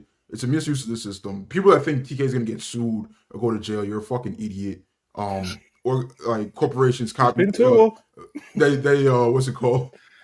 They copy strike people all the time wrongfully. It just is what it is. Like, um, it's uh, it's it's it's, it's sad, bro. It's sad. Don't do that shit. Yeah. Especially with AEW being so like social media influenced. You know what I'm Yeah. saying? Um so yeah, I think obviously I think that in itself, like they only do it when they, it's pretty clear they don't want something being reposted out there. And usually that means they've made a mistake, like they did with the explode with the exploding barbed wire. They saw how that Oh, no, came well, off and knew it was the thing is- embarrassing. and AEW Sure. pay per views, they usually always like they usually always get your clips out of there eventually. I'm more surprised than not pay though. per view. eventually, Like, but that's like yeah, within like the next day, not within like an hour. Like within the next like 48 hours, like they'll, they'll typically it starts in like 12 ish hours. They'll they'll get you shit out of there. But um, AW TV, bro, like normally they just let you post whatever the fuck you want and it's fine. I still use a DMCA account just in case, like for instance, Yeah. like last night, and I did it last night, and I still somehow got a DMCA strike on my main. I don't fucking know how that happened, but um, yeah, I, I think I think copyright striking TV, free TV is pathetic. I don't care who does it. Like I don't care if it's fucking AEW or fucking like A and E. That's. WWE don't copyright strike it. WWE are super loose with it, bro. Yeah, bro, they let you post whatever. People post entire matches, and it's pretty. It's usually fine from like manias, and it's fine. Also, someone post. Uh, saw someone post like the whole WrestleMania Night Two main event, like an hour after it happened. like, Yeah. um. So yeah, it's um. It's just not been the reaction that they've wanted, and it's been pretty clear, to be honest. And um, you know, there's been kind of reporting on the reaction since about kind of like talent being frustrated that it was put out, frustrated from the moment that they knew it was going out. Um, some talent are like, you know, at least it helped Jack Perry and bring, Mm. you know, brings up some hype for him to come back. Um, there was a there was another side of talent. I think this was in the Fightful Select report. That was just kind of like, you know, it's a shame, and this time could have been used for someone else. Um, so yeah, just kind of like a mixed bag of reactions, you know. I got a couple reactions. It was just uh they didn't think it was the biggest deal in the world, but they were kind of they were kind of frustrated. They just thought it was dumb. They just thought it doesn't Mhm. this doesn't Yeah. really help AEW. Like Well, yeah, because it just, you know, don't. it did not help AEW. Um, I mean, they got top three best demo rating of uh, of the year for AEW Dynamite, but Yeah. hey, you know, 819k total average viewership. It's not like it, it's not like the rating was like C. Crazy. You know, it was like there was a there was a little it there was a little what. jump. yeah. A point, a point three oh. That's like that's. I mean, that's, they were that's they were good they were number them. three in the fucking night. Like they're number like they're number three in the night every Mhm. week that NBA basketball dominates cable television. So hmm It's uh, man, man, oh man. Um, all right, so The Young Bucks countdown did make me laugh though. That was a funny bit. yeah, that was that was that was fucking was hilarious. quite funny. And it's I, I, Countdown to the Young Bucks came off looking. The Young Bucks did a did good business here, bro. It's just a Yeah. shame that they were given nonsense to work with. I I, I really love this EVP gimmick, bro, and I and I and I feel like too. just like them using Punk's exact words and being like, "Do you know how ridiculous this sounds if someone says this out loud and says it about you?" But like, this is how your brain works, and you process things, and you say about us. And that's stupid, right? Like you hear sounding mm-hmm. stupid coming out of my mouth. I love that. I love that gimmick, bro. But then just like the video is just like It is what it is. It's it's been a it's been an interesting. It's been you interesting. have to like see 19 super chats, Monty. I know. Yeah. But- Got to build up. Okay, I think I think I think we're kind of like winding down on just the footage thing anyway, and we can actually. Yeah. Uh... Oh, we'll talk about it naturally through these super chats. So let's dive into them. Uh, R Curtis seven seven seven four nine nine four ninety nine. Appreciate you. My brother barely watches wrestling, and we're sending WrestlePurist Twitter links because of Big Punk. The power is back. Big Punk is crazy. I do appreciate you saying Punk though. Will choosing five dollars. What happened to Adam Cole's faction? Tony just said, "I have up until Max comes back." P.S. We need Drew to pray for Jay White. Um, I think it's pretty awful. clear. Like this whole undisputed kingdom thing was more of an MJF driven thing than a Tony Khan driven thing, and then Adam Cole still being injured doesn't help. It's It tough, hey, man. bro, and the, the person they were formed to feud with is gone. Yeah, it's tough. It's uh they It's they getting shit on from all sides right now. Yeah. It's brutal, man. It's I'm sure they'll have a collision presence though. It's super unfortunate for him, man, because obviously, like they were brought in as like a main event heel faction to work with the main, the top babyface in the company, and um, you know, then the main, the person, the only person in the group who like gives the group like validity as a main event, Adam Cole gets his ankle fucking explodes. Like, Yeah. um, MJF then takes time off because he's got all these bumps and bruises and he's injured and you know, then you're left with fucking Wardlow. Like, I know I don't even like hate on Wardlow, bro, but like you're left with. I know this one. This one I'm prefacing because I know a lot. A lot of us do. A lot of us do, and a lot of us are very, very critical of him. And I have been shit. Um, I have. Uh, I've been. I've been critical of him. I've, been very critical of him, and I've praised him at times as well. But like at the same time, I don't hate Wardlow. But again, you're left with like a main event heel faction that's just got Wardlow, the Kingdom. Like, again, I like the Kingdom, but come on, bro. And obviously, um, Roddy, like, I love Roddy to pieces. Anyone who's watched any of like my content knows how much I love Roderick Strong as a wrestler, bro. But he can't carry a heel faction to the main event, you know, because he can have all the five star matches he wants. It ain't happening, you know. Um, He's not even allowed to have those at the moment. It's not fucking wrestling. Yeah, that's what I was going to get to, literally. And it's like, that's the biggest shame for me. It's like, yeah, I can kind of forgive him not being like a big deal. Do you know what I mean? Of course, like, because situation has just led to that. But Yeah. Roderick Strong not being able to cook with the international belt when every t- every like week I feel like is he injured and then he gets booked for like some bullshit, you know? Yeah. it's just like just let him cook with the international belt Yeah, the man. exact same way that Orange was the exact same. Just let him do the same thing, but as a heel, as in just let him wrestle like, most weeks yeah. on TV against someone good, not like And then if you're just- like, if you're like, yo, Roddy Strong, 15 minutes every week doesn't really drive a number. I don't love it. Bro, the collision rating is the collision rating no matter what you put on that television. Yeah. Just do it there. If we're being if we're being like real, like the AEW rating on Dynamite Collision, like it pretty much is what it is. Like there Yeah, it not doesn't- there isn't any huge there isn't many like there is people who people tune out for and you know you can make whatever agendas you want out of that if you're one of the people who closely looks at the ratings and looks at who draws what. Um but in terms of like stuff like that, bro, it's like no nothing makes a staggering difference. Like To the no point one, where you're just no- like, I yeah, yeah, yeah. I gotta like Mhm. do this to my TV, do that to my TV, do this. Yeah, I- definitely. I Like, no, no one, no one in the company, I don't think, is either drawing enough or tanking enough to the point where it's like, all right, I need to alter my show for this. Do you know what I mean?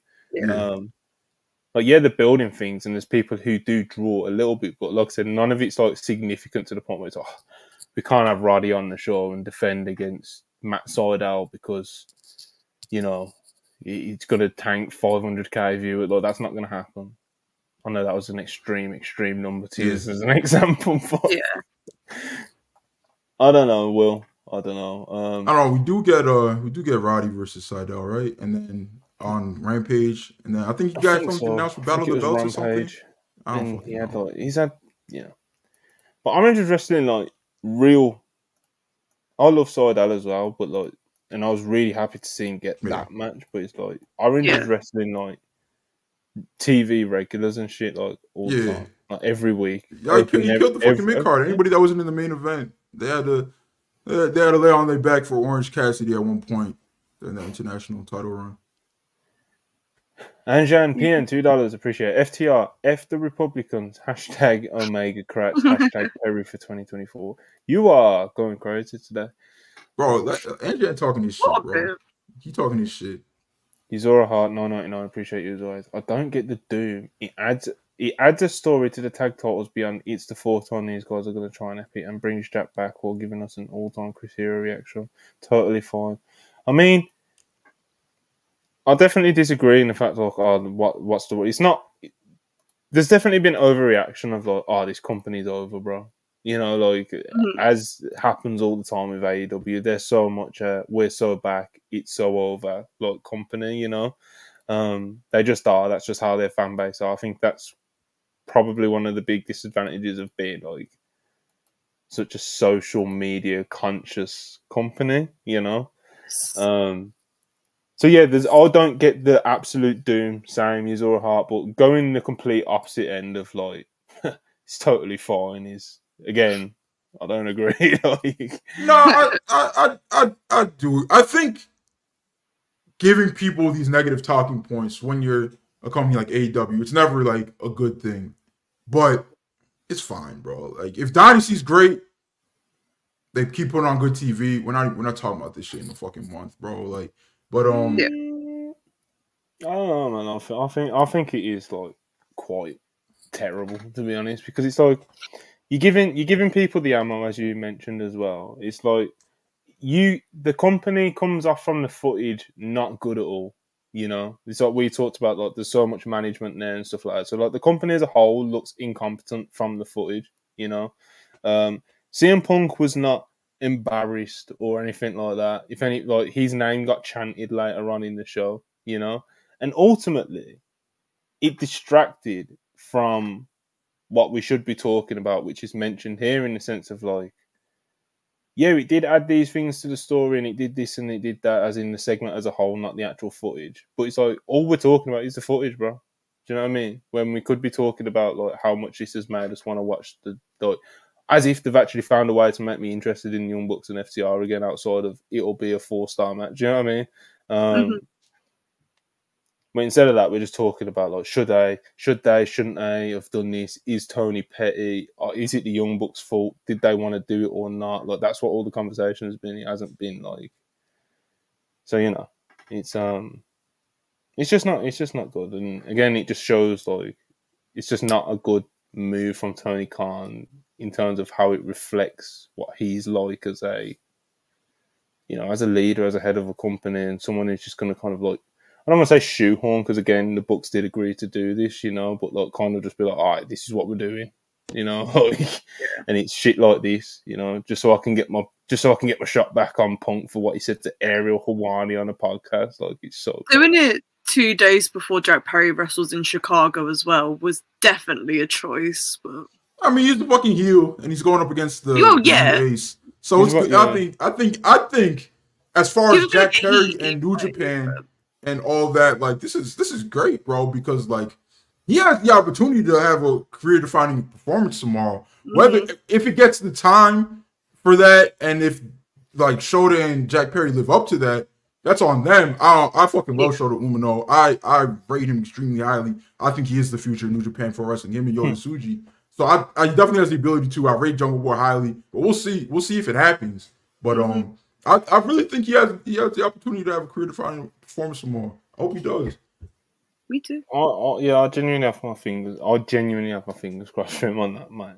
Um, because he he needs it, bro. You Yeah. know, like there's a window now. Like wrestling's all about windows and whether you can go through them or not. And sometimes they close, and we talk about what if this person got pushed or they pulled the trigger on, or you know maybe like whether that's fucking, you know, Keith Lee or Wardlow. You know, who we was just talking about. You know, there's windows in wrestling, and you know, just talk about the example with those two I just mentioned, like their windows are closed at the moment. Wardlow's young enough where it could come back. Keith Lee, unfortunately, Well, you know. It's Oh, he's Keith young. Lee. No, but I'm just saying he's he's young enough though, and he like Wardlow Yeah, is young yeah, enough yeah. where like Any- anything can some, something happen in a weird year. could happen. Yeah. you know? It just comes he- over he his randomly, he, like, he, yeah. he could like I don't know. He could knock out Chris Jericho backstage. And everyone like, you know, I mean, um, well, but wrestling's all about windows, man. And Jack Perry's definitely got a window now where people are talking about him. People, more people are going to be interested in him. This Windy City Yeah. Riot show is a big one in terms of like mhm. the AEW fans are going to be watching this one. Yeah. You know, There's opportunity Um, for for everybody to go, see, see, see. Jack Jack's great. He's only 25. See, see, see. Like, he has the opportunity tomorrow. I hope it works out. Yeah, Short on Spurs mentioned what we were talking about earlier with five dollars. Appreciate him. Uh, biggest question I have is why was Jack Perry suspended, let alone being in TK's doghouse for seven Uh, months? even, even was It's told y'all. crazy, bro. Literally, literally forgetting Punk Five for quote unquote getting Punk Five. Like TK's just mad at him. Like the punishment doesn't fit the crime. TK's just mad. No, it's um, it's wild, man. It's wild. Um, it is Very, what it very is. But he's coming back. He's coming back, and like I just said, hopefully he's got a window that he can take advantage of with his comeback run. Because I think he's he's been given a chance, you know, with his EVP shit that he's assumably going to be involved with. Master eighty four one eight nine. Appreciate it. WWF wanted to book Piper versus OJ at WrestleMania twelve. Look it up. Charlie, Yeah. Hall of Fame football player Orenthal James Simpson was Mhm. found dead this morning. Uh, rushed for 2,000 yards in 14 games, something that's never happened before or since. Um, in the US USC Ring of Honor, um, million Pro Bowls. Um, went back to went to the Super Bowl a million times with Jim Kelly. You know, he, he passed away. How do you feel about this? Why are you doing this? What do you what do you mean? Why do you want me to give an opinion on this? Charlie. I s- it's going to be Charlie. All right, we'll, we'll come back to you. Monty, how do you feel about the death of of uh, OJ Simpson? Um, I had a similar reaction to Jordan Patu, our friend. It was like when I saw that he died, one of the first things that came to mind was like the day he came back to Twitter. Like the day he signed up to Twitter, and everyone was like, "What the fuck?" That was that was fucking hilarious. um, but yeah, I, I don't have much. He also beat to- uh double murder case. He did. He got. Uh, well, he got. indicted. No, he got um acquitted. acquitted. He got Yeah, acquitted. he got acquitted. That's the word. He got acquitted. He did get acquitted. And I actually don't know. Like, I know the basic bullet points. Do you know what I Mhm. mean? Like, I know the basic. The glove didn't fit. How much divide it caused in the country. How big. But I don't like. I've never watched the documentary. I've never watched the series on it. Me neither. Um, like, I've not. No, I'm really not educated on it. But um, you know, when I did find that day hilarious when he was fucking signed up to Twitter and the reactions to that. Anyway, he has passed away. He has passed away. Ayo, if Perry bitch Pung, you'd have different tone. Come on. Yes, if if facts were different, I would have a different reaction. What the fuck? Well, yes, if if, if if the facts were different, I would react differently. What, what, what kind of got you is this? Scott two seventy nine. Appreciate that. Didn't make me more excited for their match. Yeah, so the actual footage. Do you know what I mean? Like it didn't. It did nothing. it added nothing, bro. The promo before and after and shit. Yeah, like FTR could have even done the same promo after. Like, why are you still going on about this instead of saying like, why did you show this? But whatever the fuck, man. Jaden four ninety nine. The elite should have stopped being soft for a second. Jump Punk once he did that all in. Punk should have pressed. Punk should have pressed my goat Hangman like he did Jack. The elite, Uh, the Elite aren't in the businessmen. footage, bro. You said what? What'd you say, Monty? I said the, the the elite aren't even in the footage, are they? Yeah, I, I, I didn't know if they were. Well, I've not watched this like Zapruder film. I watched it twice. I watched it on Um, TV and then I watched it again on the timeline, and I was like, oh okay. I watched it a few times, and it does look like Matt sat at the production table with Tony, but I can't tell if it is him or not. So Don't take that. Take that with a grain of salt. It Charlie looks like that. guessing, I'm not Charlie sure. guessing off Matt Jackson's complexion on his wrist or something. you know? no, like there was just like an angle. I caught his face. I was just like, "Is that Matt?" I can't tell. I'm not saying it is. I don't know. It just did look like him. Jumanji Hunter two dollars. How can Jack look good when he can't get his W back?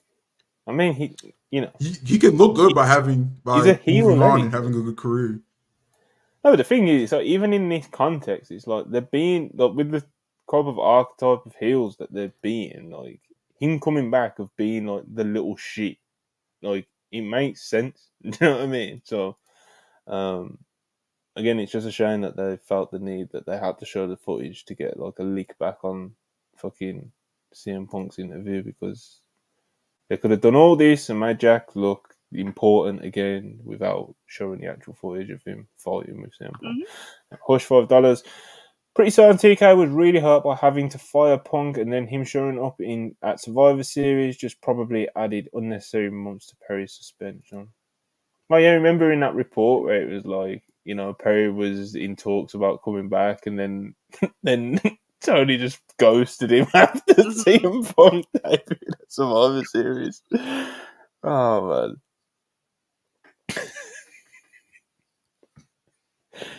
oh TK man, what are you like, mate? Ron four ninety nine, appreciate you. I think that's said. I don't know about the laws in the UK, but in America, the land of the free and the home of the brave, what that thug Phil did to Jack Perry is called assault. Uh, SRS reported that Jack Perry absolutely could have gotten Punk arrested if he wanted to, but it's wrestling. hmm Vernacular 199, appreciate it. The law definitely adds to Punk versus Joe in retrospect. I mean, yeah, that that, that match at Wembley is it's going to be talked It about makes his a while. entrance ten times funnier because he comes out looking so fucking smug. He does. He does. Um, Will Chisholm five dollars appreciate it. When they came back from the tape, Tony's face was having flashbacks to Hall, Nash, and Hogan killing the WCW.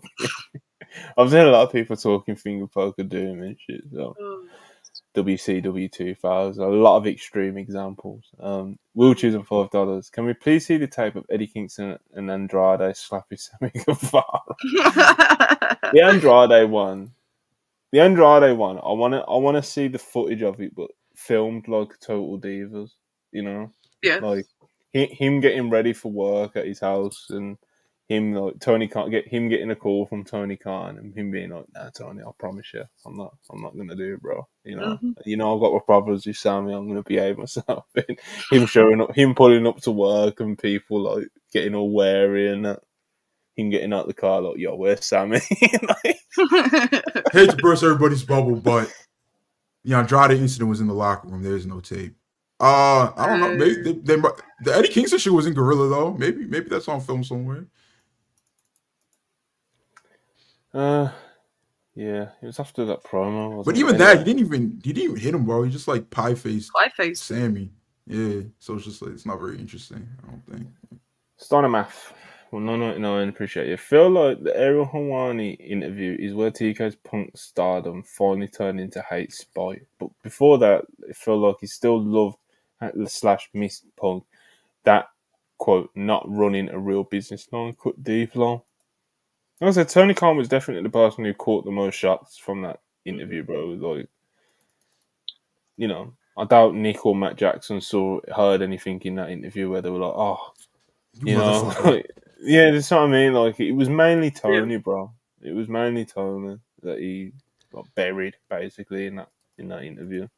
And again, of course, he obviously said things about other people as well. You know what I mean? But you know, in terms of the main, you know, Tony came out not looking great, and he, he didn't come out of last night looking great either. So just No. not great. Um, Caden, much appreciated, member of the fam. 199 says, I'll be in Chicago tomorrow and Dynasty next weekend. You go Oh, everywhere. Enjoy, enjoy the shows. Enjoy the shows. Yeah, no, enjoy. don't enjoy the shows. I'm sick. I'm sick of Caden. Just coming in here and be like, I'm gonna be at this pay per view. You know, every pay. Bro, was is, meant is Caden is fun. gonna Caden is Caden gonna give us a a, a press scrum presence? A dynasty, or are they just you know being fucking just a, just a lazy He will mark? be, yes. You Oh, will okay, okay, He okay. did- he did I'm sorry for insinuating that you could ever be a lazy He mark. did, he didn't didn't mean fight for his dynasty. He didn't Shout out fight for his Katie. dynasty credentials through uh through Wrestle Fury, so he will be repping us there. Um, happy days. Gonna get into asking ask him Tony. gonna get him to ask Tony Khan why. just why? Only why? why? Just, uh, Tony.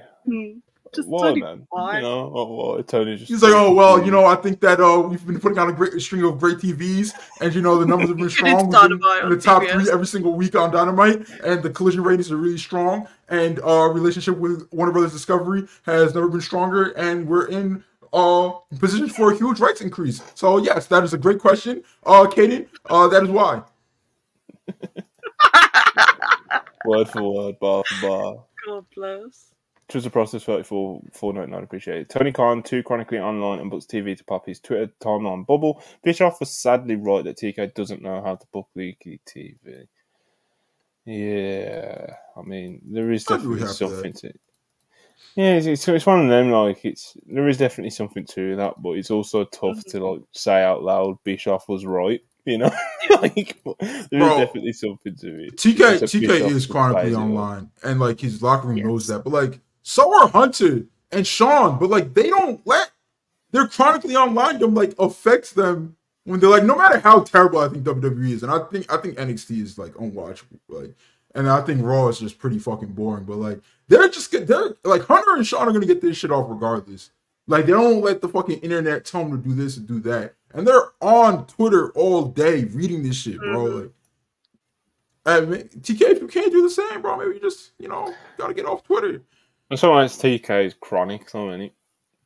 You know, like Mm. Hunt, Hunter and Sean and Court Bauer and any any bookie you want to name. You know what I'm saying? Like they're they're on Twitter, bro, and they definitely they see like discourse, but they're not they're not locked in and they're not chronically in it the way TK is to the point where it's like affecting the, his product and his decision making to the extent he does. Obviously, it affects their decision making as well. Hashtag we want Cody. Do you know what I'm saying? But Yeah. you know, Extreme TK. T- yeah, that's what I'm saying. Extreme examples where it's like that's not just Yeah, when, TK when Cody's like, number we- one like, people on for a couple hours- a bubble. You know, Like an example of this, right? And I didn't want to watch the fucking match. None of us wanted to watch the match, but like, you don't need to be this reactionary. Like the evil Uno shit that happened. That people were just like, oh, this is uh, this is pretty bad. I don't really want to see this. Then TK was just like, oh my god, oh my god. And she's like brings the fucking match, bro. That was the Yeah, he's- funniest he's shit been- Sorry, but that was comedy. And it's like, It's it's, been- like, yeah, I didn't want to watch that, but like, you can't be, you can't be like, you can't sell for for niggas on Twitter that much, bro. Like, bro. It's like that. Um, it cooks discourse. it's been it's been it's been rebooked for this weekend, bro. Zach Knight versus Angelo Park. No, yeah, and Oh Yeah. yeah, that's that was the match. I didn't even even see that. Bro, he got it got rebooked because remember that was meant to happen on a collision, bro. And everyone Yeah. was like, "No way," you know what I mean? Like, no. I don't get why they didn't just put that on Rampage and be done with it. Oh, I don't know why. Why is he doing? it? Storyline's Anyway, not even still going. But... Showdown Spurs, five dollars. Appreciate you. Gabe Kidd and Kingston are screaming at each other and destroying the press conference. This could be godly tomorrow. I would not. I'm Yeah, gonna have to, I'm gonna have to tap in. I I'm gonna have to tap into that shit. I would not expect anything less from a press conference involving them. To like, I'm being Kid and- Evil. deadly serious right now. Like, least Wait, tomorrow's tomorrow's the. Team Eddie versus Team Kidd shit, right? Yes. Like it's, yes. Okay. So who's they on haven't team? revealed. They haven't No, they revealed. they haven't revealed anybody yet. I'm assuming. Isn't it Unless just going to be? they War, did it- isn't it just going to be War Dogs? Uh, there has to be an- another person though, because Finley has a match, Yeah. right? So Finley has a match, so it's gonna and Coughlin's done. And Coughlin's So- retired, so. We got we got Connors and we got Drilla, and then But I don't. I don't know that Moloney's even in Chicago at the moment. Yo. Bro, they're Like, gonna try, what they're gonna posting try the Kenta other out there, bro. They're gonna try they're gonna try my gold Kenta out there.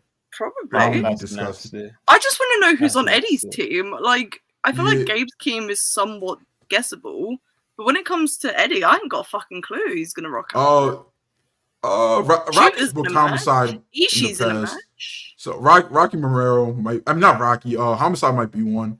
Um Yeah. If he pulls up with Despy, I'm gonna be fucking pissed that I couldn't be there.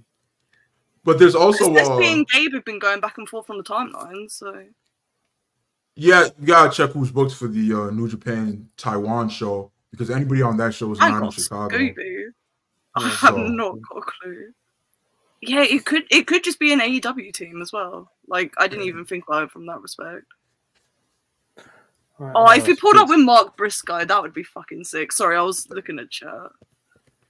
Mark Briscoe, you know, we love him. Anyway, um, Well, speaking I will of, actually, uh, you know what? I'm, I'm gonna save this. I'm gonna save this for a rainy day. We got a lot to get through today. Continue, continue, Oh, Mozzie. Well, I'm ready whenever. I'm ready whenever Look, bro, you we're want. gonna have this- whenever, this is gonna be whenever some you hard want, whenever you want to conversations, try, man. whenever you want to try. About fake Briscoe fans. You know, you know what About gonna just do? I'm fake ass gonna niggas full- that call themselves Briscoe fans. Ortiz, good show. I'm gonna I'm gonna go full Joey Coco Diaz, and I'm gonna put it out there. I'm gonna put it out there before the the liberals The liberal. or the liberals like AO and the woke cancel culture unpurist crew try Oh, and wow. cancel me. Alright, so Recipe is Wrestler of the Week. Um, there was a few people that voted for Mark Briscoe. A few. I voted I voted for I voted for Cody Rhodes because Oh. Wow. fucking Wow. and if, Why, if that why, why would you do that? Why would I do that? Because as much as I love Mark Briscoe and how much I thought his uh his match was with Eddie was tremendous, and how much it moved me seeing him finally win the Ring of Honor World Title, it was basically. It was basically would have been me voting basically purely on like sentiment, and that's not to say that Mark Briscoe didn't you know, uh, deserve some flowers for the match that he had and stuff. But like, let's be real, bro. How are we even having this conversation right now? Look, Cody Rhodes dethroned. Co- Cody Rhodes dethroned a 1,316 day world title reign in Roman Oh, Reigns. Um, even if the match, even if you thought the match was bang average, both matches or anything he did throughout the week, the historical significance of what he did automatically makes him week wrestler of the week. Like, let's be real, bro. But again, how are we even having this conversation after what Cody Rhodes did on the weekend? Never mind the fact This that is Mark Briscoe. I love Mark Briscoe, bro. Look, I, I've, said it. I think um, I might have said it on Worldwide, or I might have said it when I was talking to uh to someone about about this. It's like, bro, no one on Wrestle Purist loves Mark Briscoe more than me, bro. And even I, I think that thinking that, that he was wrestling yeah. the week over Cody last week is like, I, I, I have a question for you, Monty. 4,017 days. Do you know what that is? Do you know what that is, Monty? go on, Al. That is the amount of time between the late, great Jay Briscoe winning his first Ring of Honor world title and his sweet baby brother, Sussex County Chicken, winning it and then looking up to the heavens and honoring his dead brother. You fucking piece of shit. You, you piece of shit. Mark Briscoe had a real chance to win. He was one vote short of time for Wrestler of the Week. And Monty saw this. Monty, the alleged Mark Briscoe lover, he saw this and he's like, no, this not on my platform. Mark Briscoe will never be Wrestler of the Week on my platform. Uh, he was that one time, however. But, you know, that doesn't go my agenda right now. When he said Mark Briscoe will never be Wrestler of the Week on my platform, he bend it. He bent the whole idea. Monty votes last every week, and he did this to Mark. He looks chicken in the eyes, and he took this away from him. You want to know why? Because he's not a real Briscoe's enjoyer. You're a piece of shit, Monty. You're not a good person. I'm gonna. You, you- your name will be paraded in the streets. Everybody's gonna know what you did. Everybody's gonna know what you did, bro. And I hope your Cody lust was worth it. It was worth it because it was the right thing to do. It was the right thing to do, AL. And here's the thing: the reason why I know that nobody at WrestlePurists loves Mark Briscoe more than me, because the people that think they do by voting for him last week, the rest of the week, know deep down in their hearts that that wasn't the right choice to make, and it would have been almost like you know, you can't we can't be giving away charity wrestling. Whoa! because listen, like I said, any of pretty much any other week that we've done it, Mark Briscoe would have probably won. But bro, Right, again, I can't believe we're even like having this guy, even though a lot of it is just us ha ha. But it's just like I mean, are, are we ha ha? Are, I- are I we could- I ha ha? couldn't- Yeah. I, again, I love Mark Briscoe more than anybody, bro. But when I saw the amount of people that voted for Mark Briscoe over Cody last week, I was like, how is this like how? You know, like what the fuck, bro? Like, Bro, what Cody we not, oh. really did Cody, didn't I have- Cody Rhodes matches? did not just do the most historically significant thing in wrestling in like years. Like, did that not just happen? Okay. Like, But you have to consider that that holds no weight for me because I don't give a fuck. That means nothing to me. But the Mark Yo, and Charlie- did. Charlie, mine's over here talking about how historically impactful this is. That matter no, but, But- that matters. and he Then threw we out need to- match no, we need to talk. We need to talk about as a collective. Do it live on the stream. You know, we'll It's talk. not just. It's not just about like oh who had the best matches, bro. Like if someone makes No, no, no, history, it's not, That it's not, counts towards it's not. that counts towards Oh, their yeah. wrestler of the week case. So when someone makes the amount of history that he made, it's like it's almost just like a foregone conclusion before we even open up the voting. Bro, Like, but occasions like that are super rare because, of course, they are super rare. Like, how often does someone get to dethrone the biggest star in the business after thirteen hundred and sixteen days and it get over the way it did with the fanfare that it did and it work in the way that it did? That happens like once a decade, bro. Like, it was pretty bad. I mean, say what you want, any but um, No, I mean Cody. At, at the end of the, like, I didn't like the matches, right? But I can I understand historical like importance. Cody, I would have voted Cody if like the entire WrestleMania week slash weekend happened without the Briscoe match. Like Cody was Yeah. definitely my number two. I don't know, bro. I don't know. I just I didn't like the matches. Ring of Honor just means a lot to me. The Briscoes mean a lot to me. I understand some people don't don't feel that way. I understand some people like Monty just hate the Briscoes. So you can only you can you can you can lead a horse to said, it's- water, It's not brother. just about. It's not just like oh, who had my favorite matches this week. Like that isn't what it's on. It's like historical significance absolutely counts towards rest of the week. You know. And I'm, I'm, I'm gonna pull your card right now, though. I'm gonna pull your card right now because there was a week where Andrade had two good matches and Bryan Danielson had two great matches, but they were just two great TV matches, right? But Andrade was one of the first people in history to be to work CMLL, leave for Triple, leave on really bad terms, go to AAA, their their blood rival like promotion, right?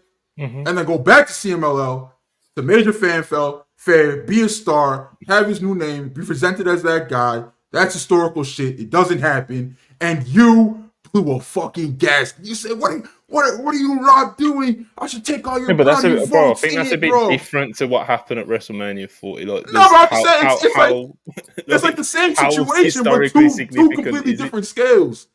Two completely different scales. But yeah, of course, and that, that, that's what I mean. That scale, that scale means something. Like, do you know what I mean? Right. It's like, it's like Andrade, Oh, as cool as it was, it was cool seeing A- at AAA, CMLL. Don't see it often. Don't see it ever. It's cool, but it's not the same as what Cody did on the weekend, is it, bro? Like, it's completely it's apples and oranges, bro. Like, it's not.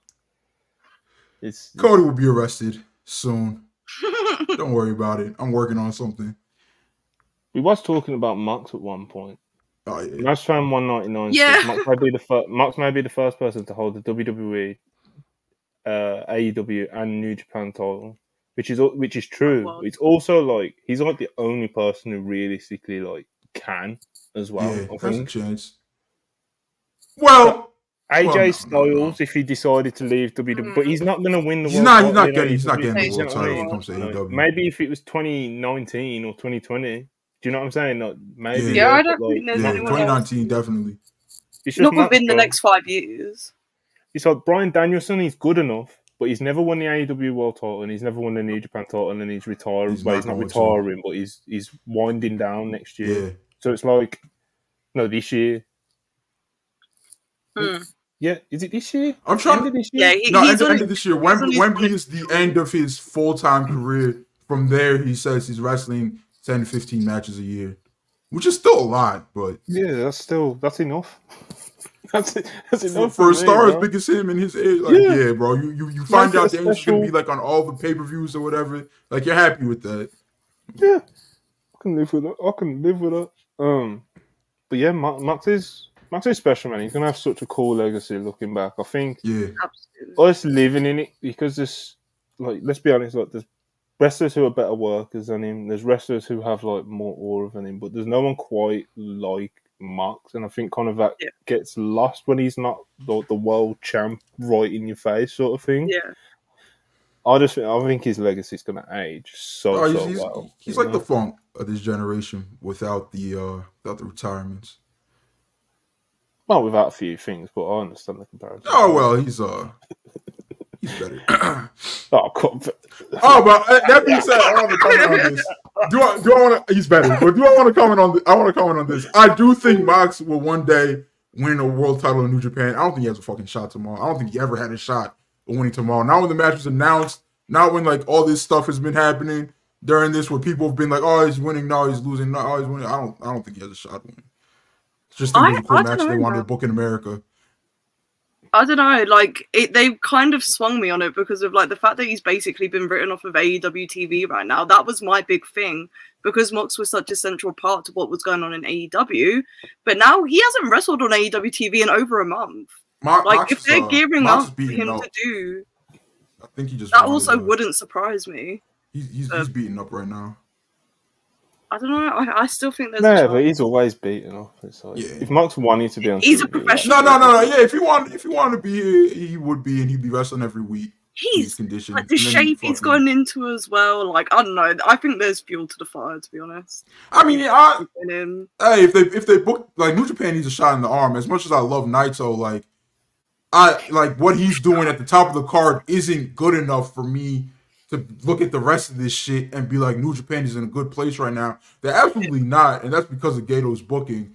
But if if Mox is the world champion and he's he's hitting a couple of the road twos and he's main eventing these shows, like that's that that's something for New Japan. That that's that's Yeah. a real something. So I don't know. I wouldn't be I wouldn't be it against it at all if they do it. I just don't think it's happening. Mm-hmm. interested. Definitely I'm excited. Um, Hush two dollars. Uh, over under? No. Oh, No, he's okay. Two dollars. Okay. Punk's next blow up. Who triggers it? Kevin Owens or Seth? uh, it'll it'll be Seth. It'll be Seth. I don't know, man. I don't know. It's he's all heart five dollars. as an as an aside, Mox is definitely beating Naito, right? He's being basically written off AEW too. Well, we basically just talked. Yeah, we, we that, so. touched on that. Yeah. Man's You down better 84, put it- 199. Is Danhausen being punished and why is it deserved? I don't get Uh, what right people. now, no. I don't, I don't think he's what being punished, like, but what "Oh." do you do with him? No, but I didn't. I think this. Like, someone tweeted like, "Oh, Danhausen, one of Punk's friends. You know what I mean? Like Jack Perry. Like he's been. You know what I mean? He hasn't wrestled since like November, and he's like, "Yeah, bro, Bro. because no, who? No, there's no demand for fucking Danhausen right Bro, now, and with fucking- the product they're doing, sucks, you're not gonna bro. force Danhausen in, are you? Like, you don't.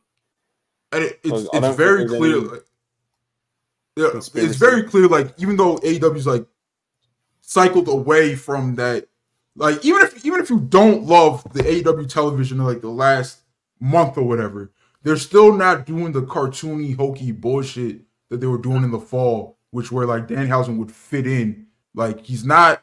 Like he doesn't fit in AEW TV right now. He fucking he can't fucking wrestle, bro. He had one of the worst matches of the year with Matt Cardona. Oh no no no no. Yeah, Matt Cardona. Uh, like last week or two weeks ago, bro. It was fucking it was fucking god awful. Watch it. It gave Ibu depression. I'm like it's it's really bad, bro. Like not seeing he doesn't need to be on TV. Just let his contract run out. Let him run the do the indies, all that shit. Corey David, two dollars. Appreciate it. Obafemi is the future of pro wrestling. He's the future of sport. Yes. Just in general, you know.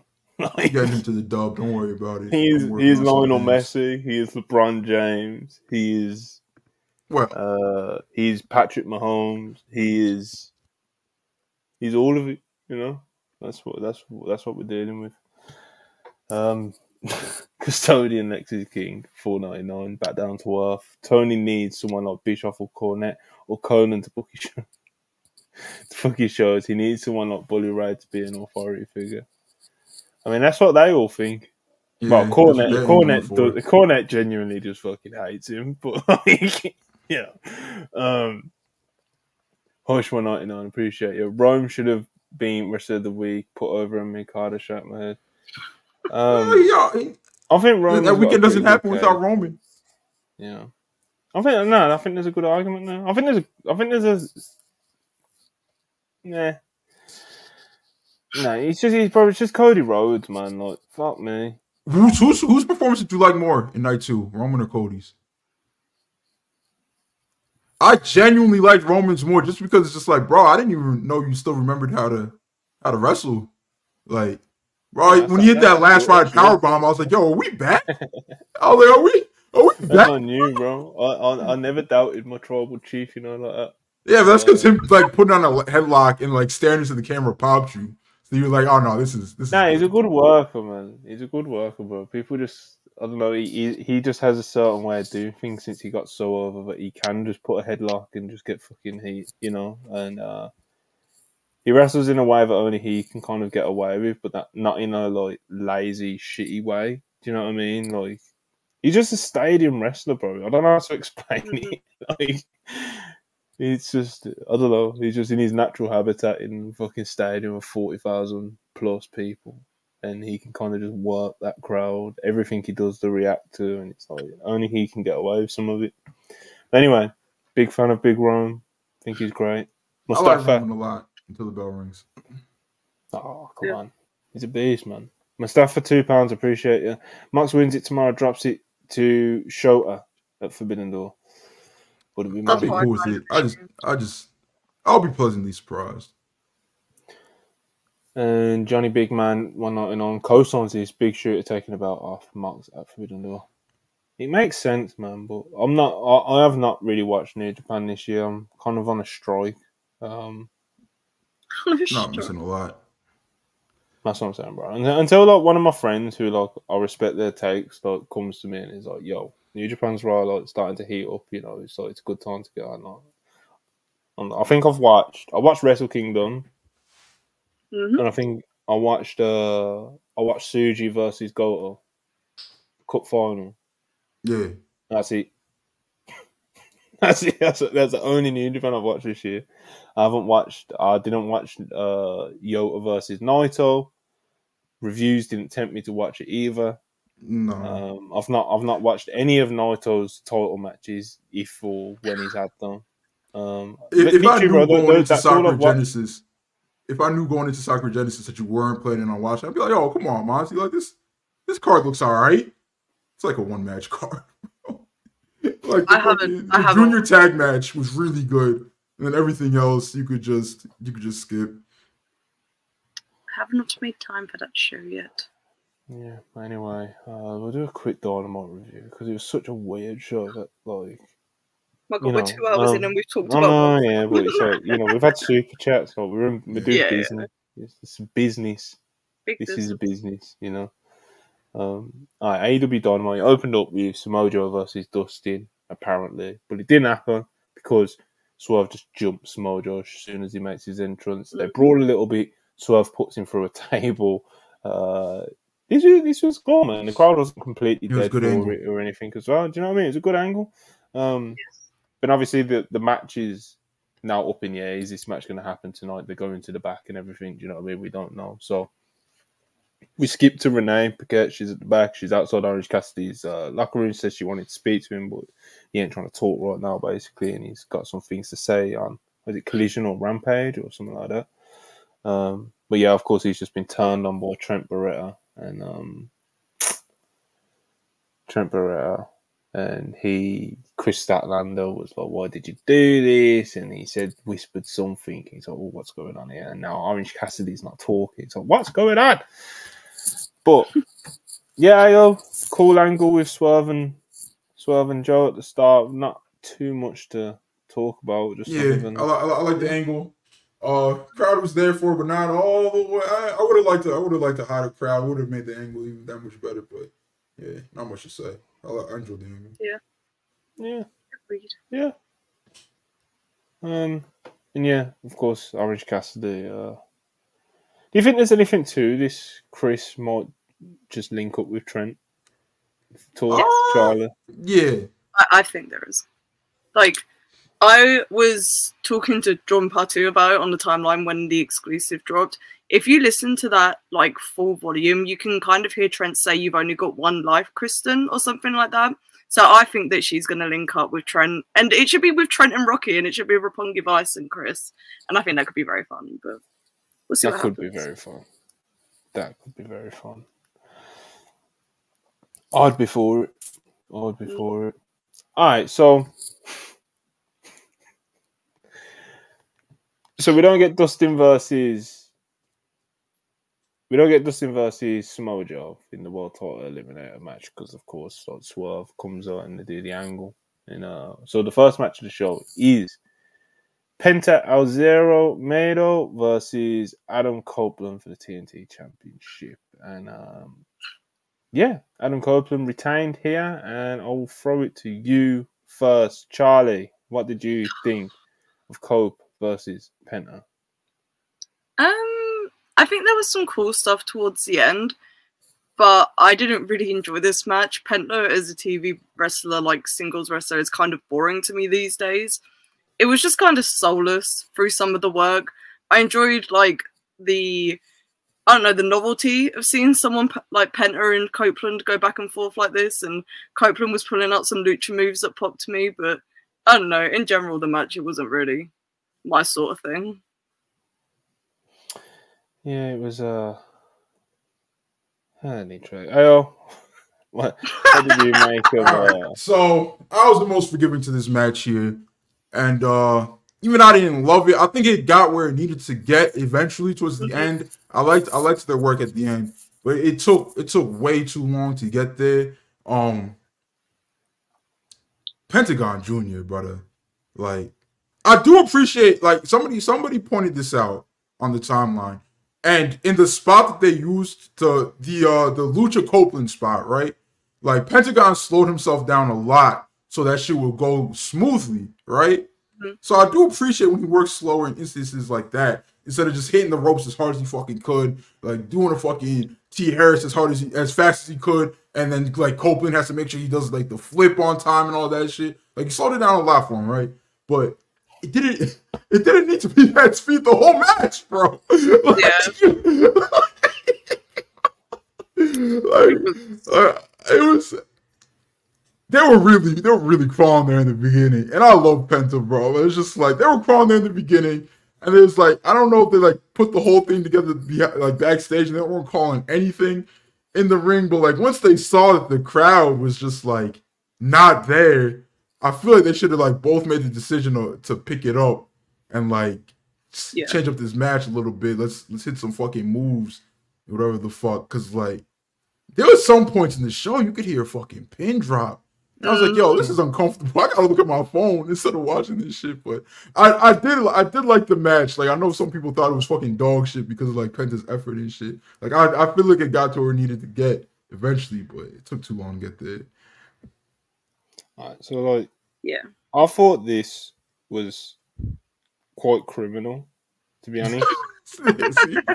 It's um as you guys have mentioned, like Penta Penta likes to kind of chill out there sometimes, you know.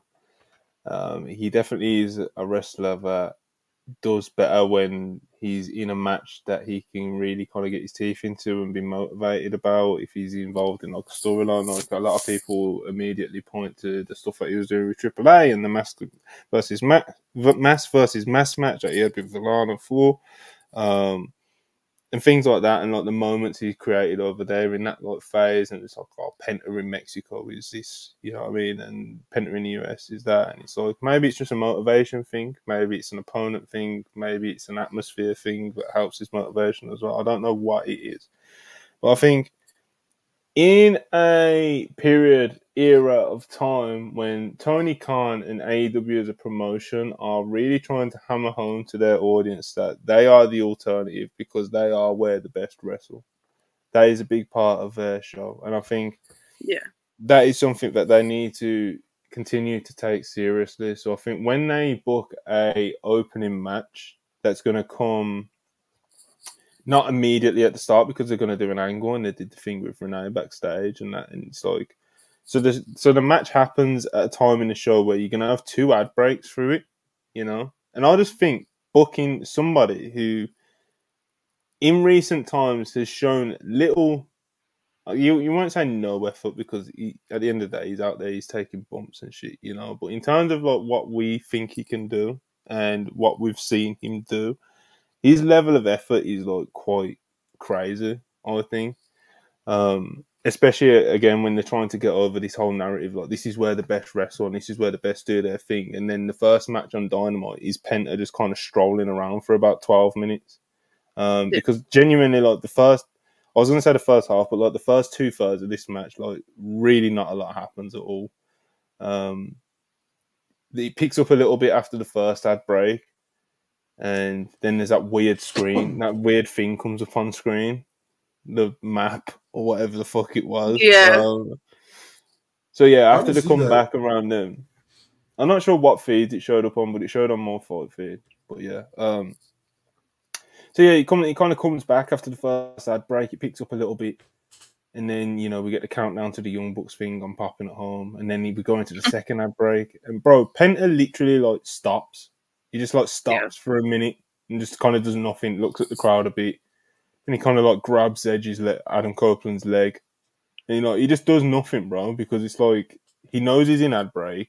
He's not putting in the hundred percent effort as it is anyway. And I'm not saying you have to go 110 percent Will Ospreay fucking every week, you know. But fuck me, there's got to be a middle ground, you know. And again, when AEW, and I'm watching this, thinking like this is where the best wrestle, you know, like.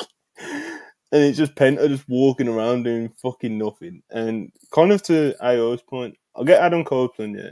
You could tell that like he wanted to go in there and have like Penta's match Yeah. do some shit with him, take some lucha moves, do what he wants to do. I'm going to sell for you. I'm going to let you get your shit off on it.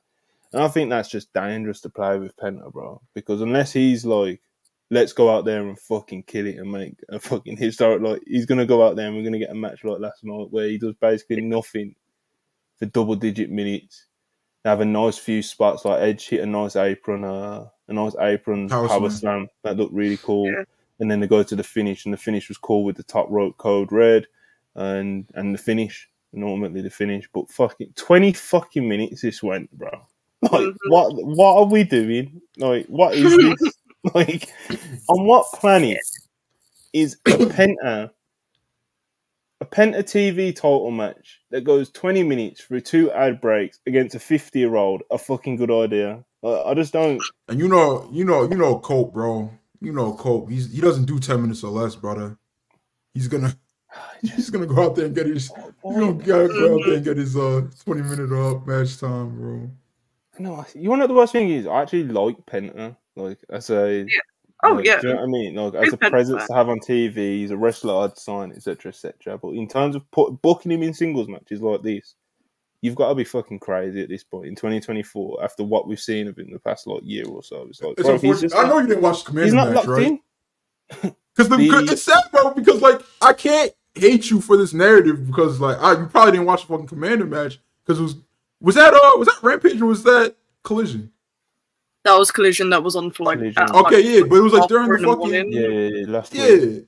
It was at three in the morning. It was after the fucking WrestleMania and shit. Like you didn't. I know you didn't watch that shit. It was a really I good match, bro. I liked it a lot. Like I was hovering around. I don't know if I went four on the spreadsheet or not, but I was hovering there. And uh, uh, I mean, fucking probably- like yeah, you, probably just, you missed it completely. minutes. Yeah. No, you it missed it really completely, wasn't and then he 20 goes back to fucking.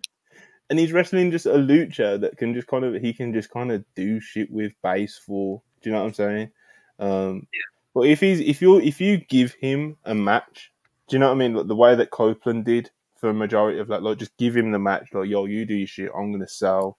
We'll have your match. You know what I'm saying? Then we'll go to the finish. I'm gonna pin you. Like giving Penta that in 20 minutes through two ad breaks is like promotional malpractice. like, um, I did It did make me want to see Copeland wrestle Bandido when he's back though, because I feel like that Bandido in this spot. Yeah, that have would been that really be that would be great. so- Yeah, I just yeah, this was this. I thought this was quite brutal to be honest. The the the run time was the main thing though in terms of like I didn't think the work was like sloppy and terrible or anything. It's just that Yeah. the run time and the way Penta fills time was just fucking criminal to me. Uh, and the ad breaks definitely didn't help either. So. Um, but yeah, after the match, House of Black appear, the lights go out, Julia and Brody appear in the ring, and they well, Julia doesn't actually attack, but like you know, she like intimidates, and Brody attacks uh, Copeland, and Willow Nightingale makes a save. Pop me huge. Copeland, like, Copeland's always down to like put women over in a way that makes them equal to the men. He did it Mhm. in WWE with Rhea Ripley. He would like let Rhea Ripley like hit him with a big boot or sell for her, or like, Yeah. he would instead of just being like. Because you see a lot of wrestlers, especially like with Rhea and stuff over the years, so it's like, oh yeah, I'll let Rhea do X, Y, and Z in the sense of like, oh yeah, I'm cool to let her go over on me or whatever, you know.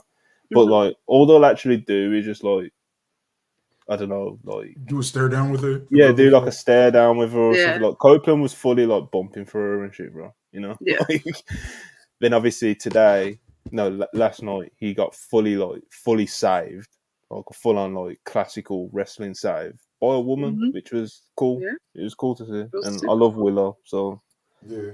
this worked for me. You know. Um, Has there been any updates on this uh Julia Hart uh, shoulder situation? Mm, Dynasty is next week, brother.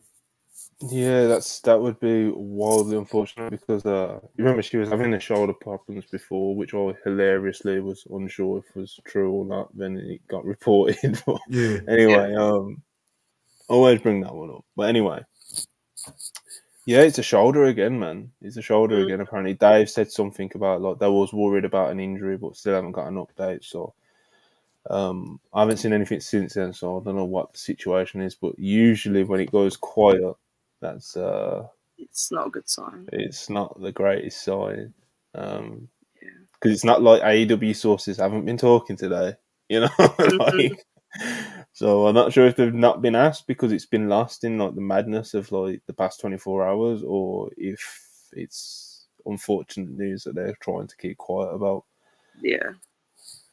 Um, Uh, if she's injured, you gotta get her out of here.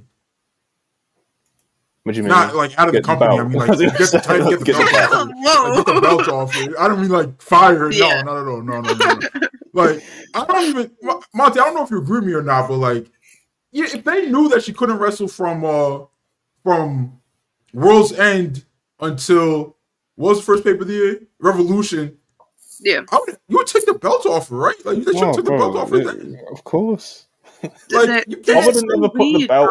Like I know No. she got over and stuff at the Yeah, she got she got over as fuck. So you put the belt on or whatever. I wouldn't have she done got it, but uh, whatever. I, I was gonna say I would not have put the belt on her in the first place, bro. She's not. I don't. Wanna, I don't want to just bluntly say she's not good enough because like she's young as fuck, bro. Do you know what I'm saying? Yeah. Like, and she's making progress, and there is promise there, and there is things to like about her. But in terms of like carrying my TV title for the women's division, it's like oh, that is not the role I'd give to Julia Hart in Yeah. year year two or three of her career. Like, it's just not. So, you know, that's where I'm at with uh, that. Like I, I think she definitely earned the opportunity to see Mhm. if she could handle it, and she she she can't. So let's uh let's let's pivot and revisit this down the road. Yeah, it's like at least with like Jade, like she was like a unique star and presence of like this like aura of undefeated and blah blah blah. You know what I mean? And I thought Kris was a good champ. Me too. Yeah, I, I, I yeah. I love, I love everything Kris Statlander does, bro. I think she's like Yeah. one of the best in She's the world, awesome. honestly. Yeah. She doesn't get enough credit for how good she is, considering the injuries she's had as well.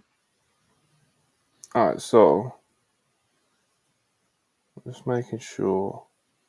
I don't know where this is. All right, so there was about. I'm not sure where in the show this was. I'm not sure if it was immediately after or just a little bit later on. But there was the backstage segment with um with all of them basically. Um, we had Copeland, we had Willow, we had uh, Eddie Kingston and Eddie Mark is Briscoe. involved. Yeah. Eddie Eddie Kingston and Mark Briscoe were like the start of the promo, and they're talking about you know uh, Mark Briscoe just became champ, and you know uh, they've got the House of Black match coming up and whatnot, and then Edge comes into frame and he's with Willow. It's like, I don't know if you just saw what happened out, but you know we got to do something about these guys. We're gonna have a match with them next week, or I'm gonna deal with them next week, and basically there's, there's just basically just to set up a mixed tag match for next week. Willow and Copeland versus Julian. Julia and Brody. If she's obviously cleared and can go, Yeah. because there was It could end up being the Skye Blue and Brody. Oh man. Anyway, um,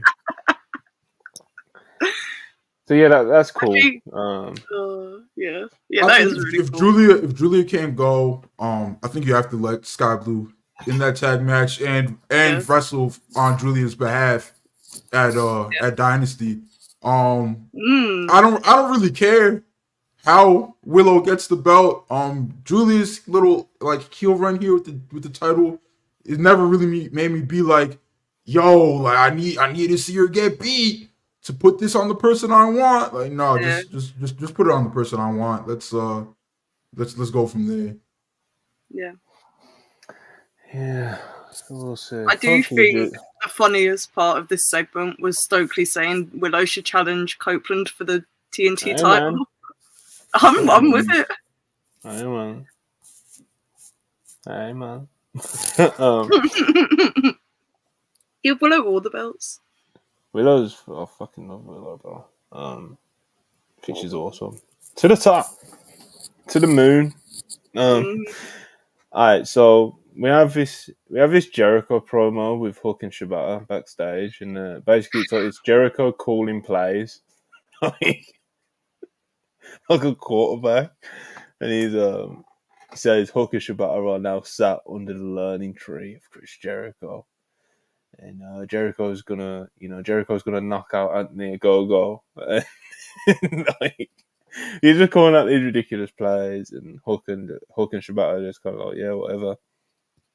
And Shibata does his phone translator gimmick thing, where he's just kind of like, what's this guy's problem? And it's all, you know, it's it's slightly humorous, but yeah, man, more Jericho on the shows. so that happened. I don't even know what to say at this point. We don't have to. We don't have to like fully review and break down every segment. Yeah, we Sometimes don't. I, I segments think just- I think for once this wasn't like the disgusting like get the fuck out of my face experience with Jericho, but since it's like sandwiched with those experiences, it's just like it's all pretty bad. Like it's not gonna Yeah. get So better. Shibata's unless under you, his learning tree. Yeah, but that that popped me. That was funny. Like I like you like you Oh, you- I, I clearly, but like um. Yeah, bro. Like I don't need to see Jericho on TV right now, bro. I don't. I don't need to see that at all. But I think this, like in a vacuum, was just like fine. But the issue with wrestling TV is it's it's not in a vacuum. So It's not. Um. All right. So next was the footage. Shivani was not happy. okay. Scroll, scroll, scroll. All right. And then after after the footage is shown and the young bucks do their performance art, uh, FTR, their music hits. They're apparently not on the rundown for the show. They're just coming out here to talk to the people because you know they're so pissed off about what they just saw. And uh, basically, Cash grabs a mic and he's like, "Why? What? What are we doing? Like, we we just want to move on past this. We're sick of hearing about this. We're tired of hearing about these. Everybody in the back is ready to move on. You just making up a built-in excuse for why we beat you at Wembley, and basically this is bullshit. And we do all these great shows at AEW. Why do we have to talk about something from eight months ago? Um, and you know now this match with you guys is more even more important than it already was because we have to beat you petty little EVP bitches or whatever you called him. And um, yeah, then Dax also says like you know basically the point of his promo is that the Young Bucks have like lost themselves, and it's a shame because if it weren't for the Young Bucks, I might still be shaving Cash's back, which obviously everyone remembers the uh, the segment with the Usos um, that he did in WWE. He's like, even though it wouldn't, if it weren't for the Young Bucks, we wouldn't be here, sort of thing. We have now eclipsed them. Uh, Young Bucks have lost their way. Uh, and we want to now create a great AEW. And if the Young Bucks don't want to be a part of it, they can take their ball and go home.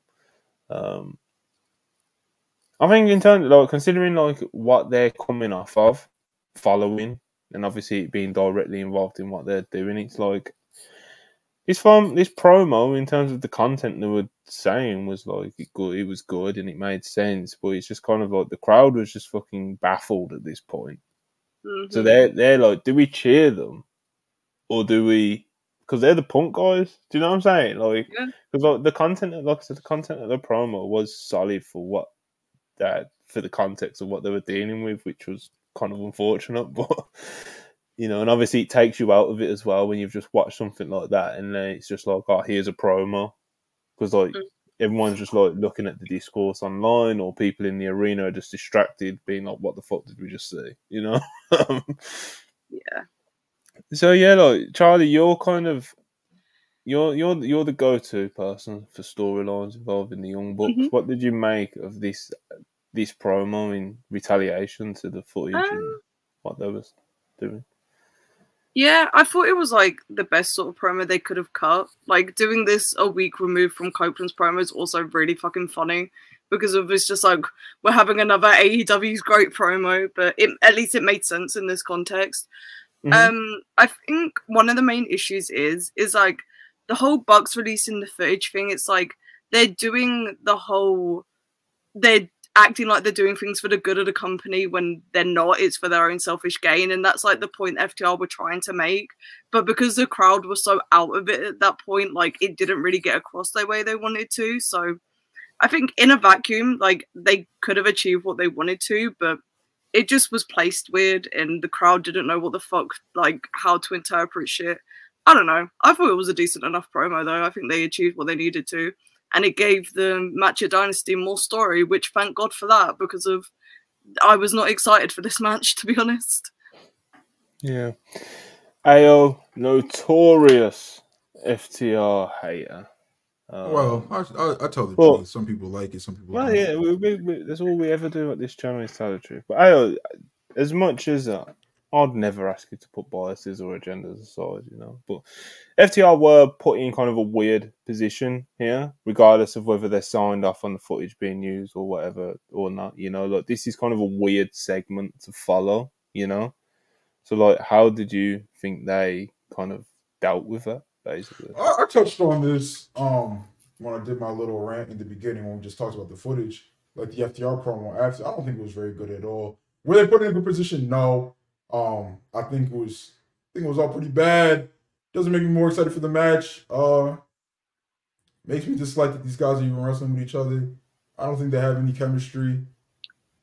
Uh yeah, bro. Just keep them away from so each what? other. So what was bad about it? What what what what should they? Well, first of all, First of all, you have you have Cash Wheeler middle of the ring with a microphone. That's never fucking good, brother. Second of all, like the FTR were like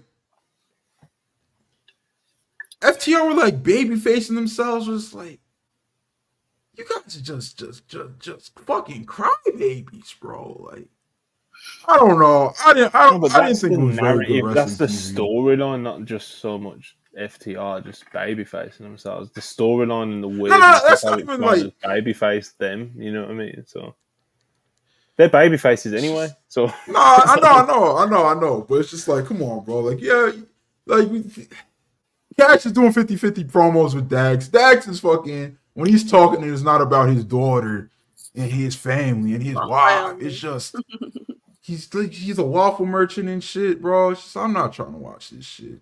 Like, I don't think it was good. I don't like I they probably should have just did a pre-tape, honestly. Probably should have I don't know. Mm. I don't know, man. I think, I think you, I think you're very harsh on them. Uh, not to say this was a fucking great promo or anything like that, but I don't know, man.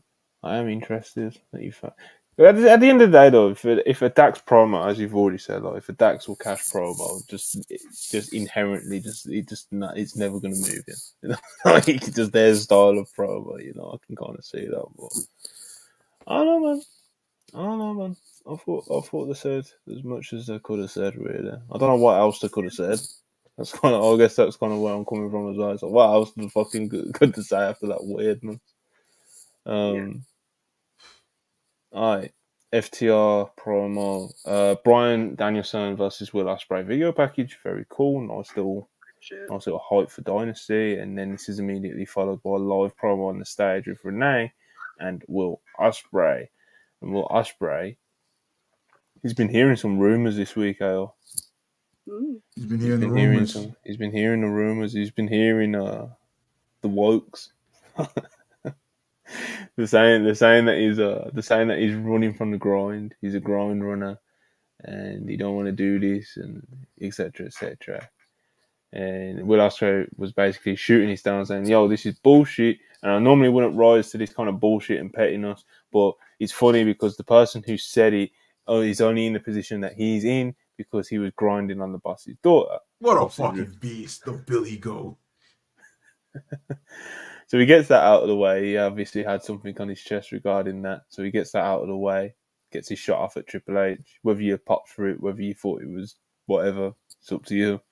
Um, and then he cuts a promo on Bryan Danielson, which I thought was really good as well. Um, he basically said, like, you know, he, Bryan's fought all these different people and, you know, stronger than him, faster than him, etc., but he's already found a way. And he, he was like, the only way that Bryan Danielson has a chance against myself, the aerial assassin, is if he grounds me. And he's not going to be able to ground me because great men have tried and failed. Um, big men, strong men, fast men, blah, blah, blah. But you're Bryan Danielson. And he can't call himself the best in the world until he pins Bryan Danielson. And it's time for Will Ospreay to show us, as in the AEW audience, what he's bringing to the table and why he's the ace of AEW.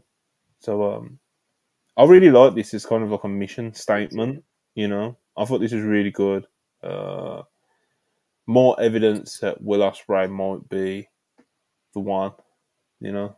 Mm. I, I I think he is the one. I think um I think there are multiple ones right now. But I think Mhm. Will Ospreay just has like he has he has it, bro, in a way that Yeah. you know few people alive have it. Like this this is this is an amazing TV wrestler. He's gonna be all time. He's already an all time wrestler.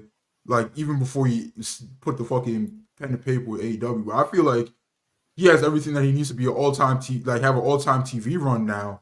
Like he Ospreay's amazing, bro. Like I I never I never really like hated on his promos as much as others have. And I know Brits are like still kind of like eh on on his promos. I think because y'all don't like the mirror being held up to yourselves. I mean, do I really, do I really sound like that? Yeah, you fucking you really do. It's because he hams it up, and it? It's because he hams it up. Yeah, I do. I, yeah, there's, there's, You there's, there's a shucking and jiving element that I get that y'all have with him. It's just like, bro, like, come on, bro. Like, you're trying to pop these stupid Americans, but so I get that. But yeah, I, I, I really like Ospreay's promos, bro. But he's better. He's already better on TV than I ever would have thought, like as a character Yeah. and as a baby face. And the and the fans, bro, like they sounded like an actual dynamite crowd instead of like fucking zombies when he was out there cutting that promo and stuff. Like they were stupidly locked in. They were reacting. It was great. I, I like the segment a lot, yeah. bro. And that, that grind runner shit. I see the drones trying to run with it now. Will Ospreay has been signed to New Japan since like what 2016, Chuck, Yeah. and he's been making six figures there since like 2018. And he's been on the British Indies killing himself, trying to put on like seven star classics For 11 years. every month that entire time. He never stopped. He didn't have to, bro. His rate's probably like what five hundred fucking dollars, but he did it anyway for the love of the game. Mm-hmm. He could have left the Indies, like, realistically, like, late 2018, and he would have been fine. Yeah, hundred percent. But no, Will, Will's definitely not a grind runner, bro. Like Triple H, if tri- obviously Triple H didn't mention Will Ospreay by name, and you could kind of insert wrestler here with a few of the free agents that they've missed, you know. But um, you know, Will Will Ospreay is kind of the worst person to kind of Mhm. you know, either. Do you know what I mean? Even if it is true, even if it is true that he signed with AEW, and one of the well, obviously we know he signed with AEW, but one of the big reasons would be like because he can have more flexibility with his schedule. Um, evidently, I thought we've seen so far, it's not it's not kind of like a pack deal, you know. Yeah. He's like, he, he's here. Well, Pac's And been here every week Well, the he's past signing few on weeks the- as well. So, But we know that that's not that's not like the norm. mhm. Like, bro, it's Yeah. the last, and I don't even care that Triple H said it, bro. Like, I don't, I don't give a fuck that promoters give shot, take shots back and forth. It's these fucking drone marks, bro. You disgusting, you s- disgusting, stupid drones that run with that shit. Disgusting. yeah, he's uh. Oh, oh, as far as as far as like his shot at Triple H, it's like he didn't really do anything for me. He didn't. I, I wasn't like oh, as if he said that, you know, and I wasn't. I wasn't popping for it either. It was just kind of a. It wasn't you. It was just kind of a thing that he said on the show, and I was like, oh yeah, Yeah. Triple H did take that shot at him. I guess, you know, fair enough. You know what I mean? like, but the thing is, is that it's like did, didn't did it need to be brought to TV because it was like how much of your audience is aware? Do you know what I mean? Like there, there, there was Yeah. that element to it, but I didn't. Like I said, I didn't really like care for it, and I didn't really. It didn't bother me. It didn't pop me. It didn't do anything. Um, but yeah, you can obviously people can argue about whether he should have, shouldn't have done it all day long, but it was only like ten seconds of the promo. I was gonna say it was like one line of a promo that was centered Yeah. around Bryan Danielson, and the Bryan Danielson part of the promo was actually really fucking good. And I think this is probably like the best segment that Ospreay's done so far, and like they've done a really good job with this build, considering the fact they've been face to face like what once, and the rest of it's just been promos back and forth, and then like wrestling. Like I don't know, I've really enjoyed the build for this, and Ospreay's promo he didn't really ham up the tendency the tendency like that much last night, which is probably why I really liked it. But um, yeah, I think he did a great job. He's been a much better promo in AEW than I was anticipating. So Yeah, well, well, like I said, Will Ospreay, I think.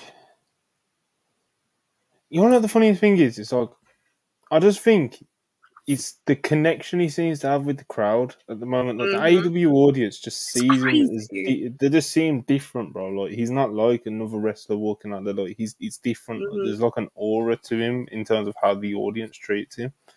Um, Yeah. They just re and they just kind of like they're willing to play along with him and do the brovs and the geezers and the whatnots and you know what I mean. Like they'll they'll play along and they'll do it, man. Like they really really have taken to him in a way that an AEW signing hasn't been taken to in forever. since like Mox, That's what I mean, forever. So um, Yeah.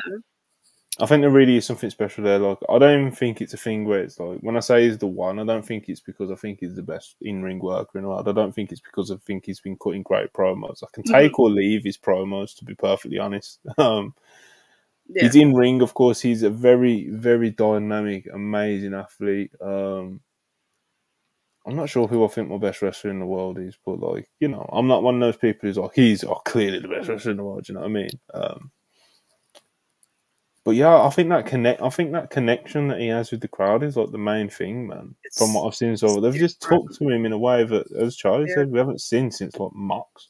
You know, it, it's crazy. So I don't know. Maybe you have to speed track that world title run. I don't know, but it's like Yeah, I was swerve- I was against All him in, going over brother. all in, but um, bro, like there's there's nothing wrong with uh there's nothing wrong with a four month title reign.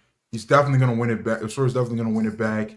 I feel like I feel Yeah. like they could uh Swerve and Ospreay will have the chemistry to be do this whole yin and yang thing like Hangman and Mhm. uh Hangman and Swerve have been having. Like I feel like all three of them is like, that's a great main event for the next ten years. Then you add other pieces in and out of that.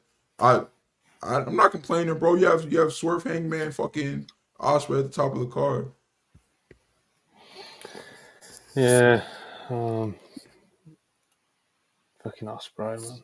He's uh, they they fucking love him, bro. They absolutely love him, and I think there's just something to that. And obviously, you can take that ball and run with it because his matches are exciting as fuck, and they get super over. Mhm. So, um, yeah, man, Ospreay still trending in the right direction, which is good to see. Yes. Um, Julia Hart was next up. She did like a spooky pre-taped video package.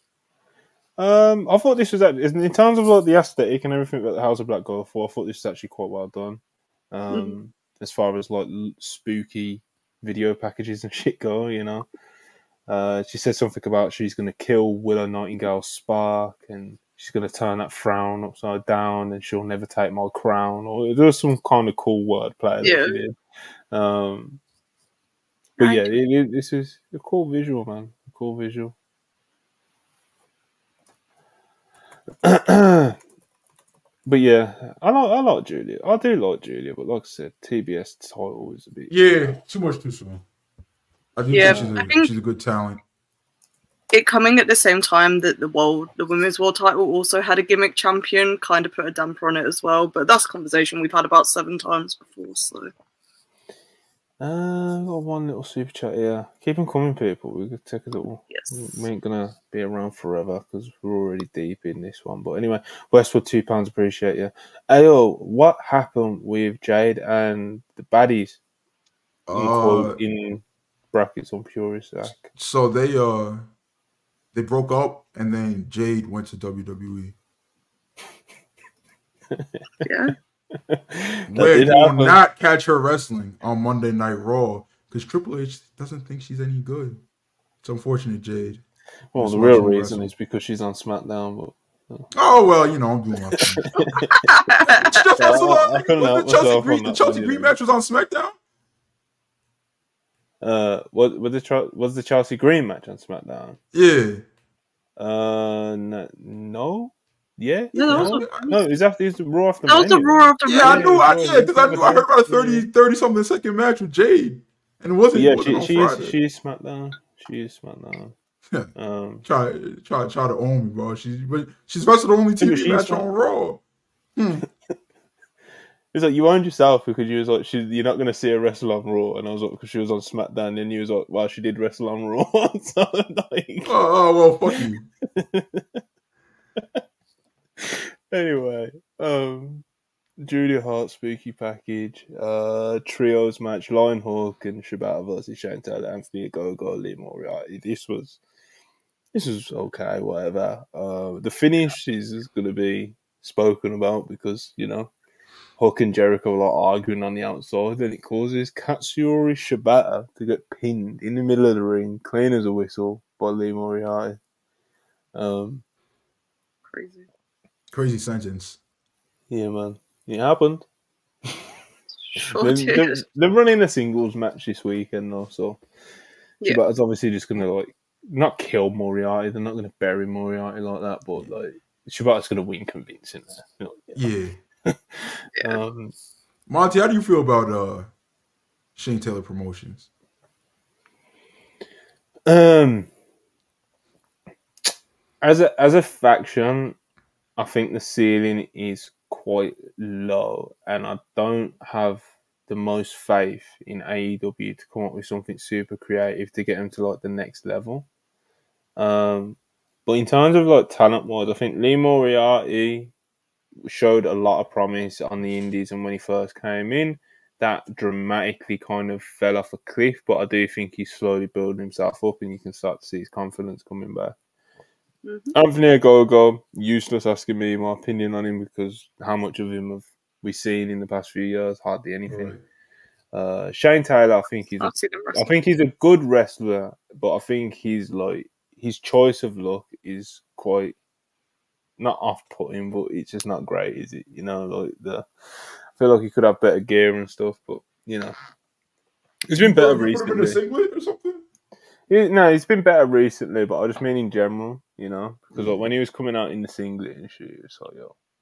Or whatever the singlet shorts combo or whatever the fuck it was, he was like, um, but as a talent, bro, he, I think he's got good offense, and in the matches he gets booked for on AEW, in the sense of like he's a heel for someone to beat, but look somewhat credible. Like he can, like when a Copeland or someone like that will give him space to do some offense and shit, he can do some good offense, man. He's got good physicality, some good moves and stuff like that, so he can fill the space if it's ever given to him, and he's given the opportunity to. But like I said, I think the ceiling's pretty quite low. In Nah. uh, it's a weird group, man. Yeah, it's a It's it's a a weird weird. I, somebody somebody in the chat said Shane should be someone's heavy, not a stable leader. I don't know about. I, I feel like if he was like the number two in that Mm. faction, like imagine a world where Keith Lee lost 50 pounds and loved professional wrestling again. And he was the leader of that faction. Like, oh, like, yo, we're cooking with something here. Right? But we don't live in that world. I don't I don't I don't really see him as a faction leader either. I, I do think that his, that his television run is is going slightly better than I would have assumed if you told me he'd be on TV this much. So that's a, that's a credit to him. But Yeah. He's also a decent promo as well. yeah, he's not he's comfortable on the mic. He's I definitely. mean, I comfortable mean, I the yelled, I, I literally yelled out loud when he compared himself. No, when he put himself in the same sentence as Marvin Hagler and Rocky Marciano. but, you know, he, he can talk. He can talk as well, man. So like, he's a good Yeah. talent. It's just I, I, I, I don't worry because he's not like it's not top of my priority list of Yeah. people I want to see. Like, like for example, like Willow Nightingale. Like, I'm invested in AEW getting it right with her. You know. Yeah, Um, yeah, I, I like Shane, man, and I like the others as well. It's just obviously it's how the position. I do like. I really, I really hope Ogogo could put it together, bro. Like I've Yeah. seen Ogogo wrestle within the last. I, I've heard his Rev Pro run is uh, when uh, I heard his Rev Pro run. Don't is don't, don't hold great. out. Don't hold out, bro. He's such a good talker, bro. That motherfucker can talk, bro. And he's got the look. And he's Nigerian, bro. Like it's just And then the bell root rings. for him. I root for him. The match he had against RKJ was the funniest shit I've ever seen live.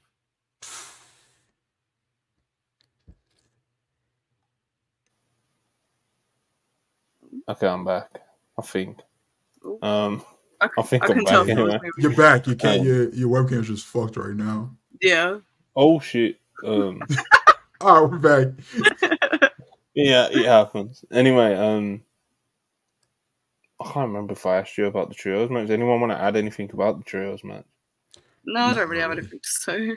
Alright, uh, Dustin Rhodes, Dustin Rhodes promo backstage, and basically they confirmed to us that Samoa Joe is going to be able to compete tonight and have his match with Dustin Rhodes. And Dustin Rhodes cut a passionate promo about grit and balls and things of that nature. You know, a real man's man promo. so a yeah, shout out Dustin Rhodes. Uh, Okada versus Jobber.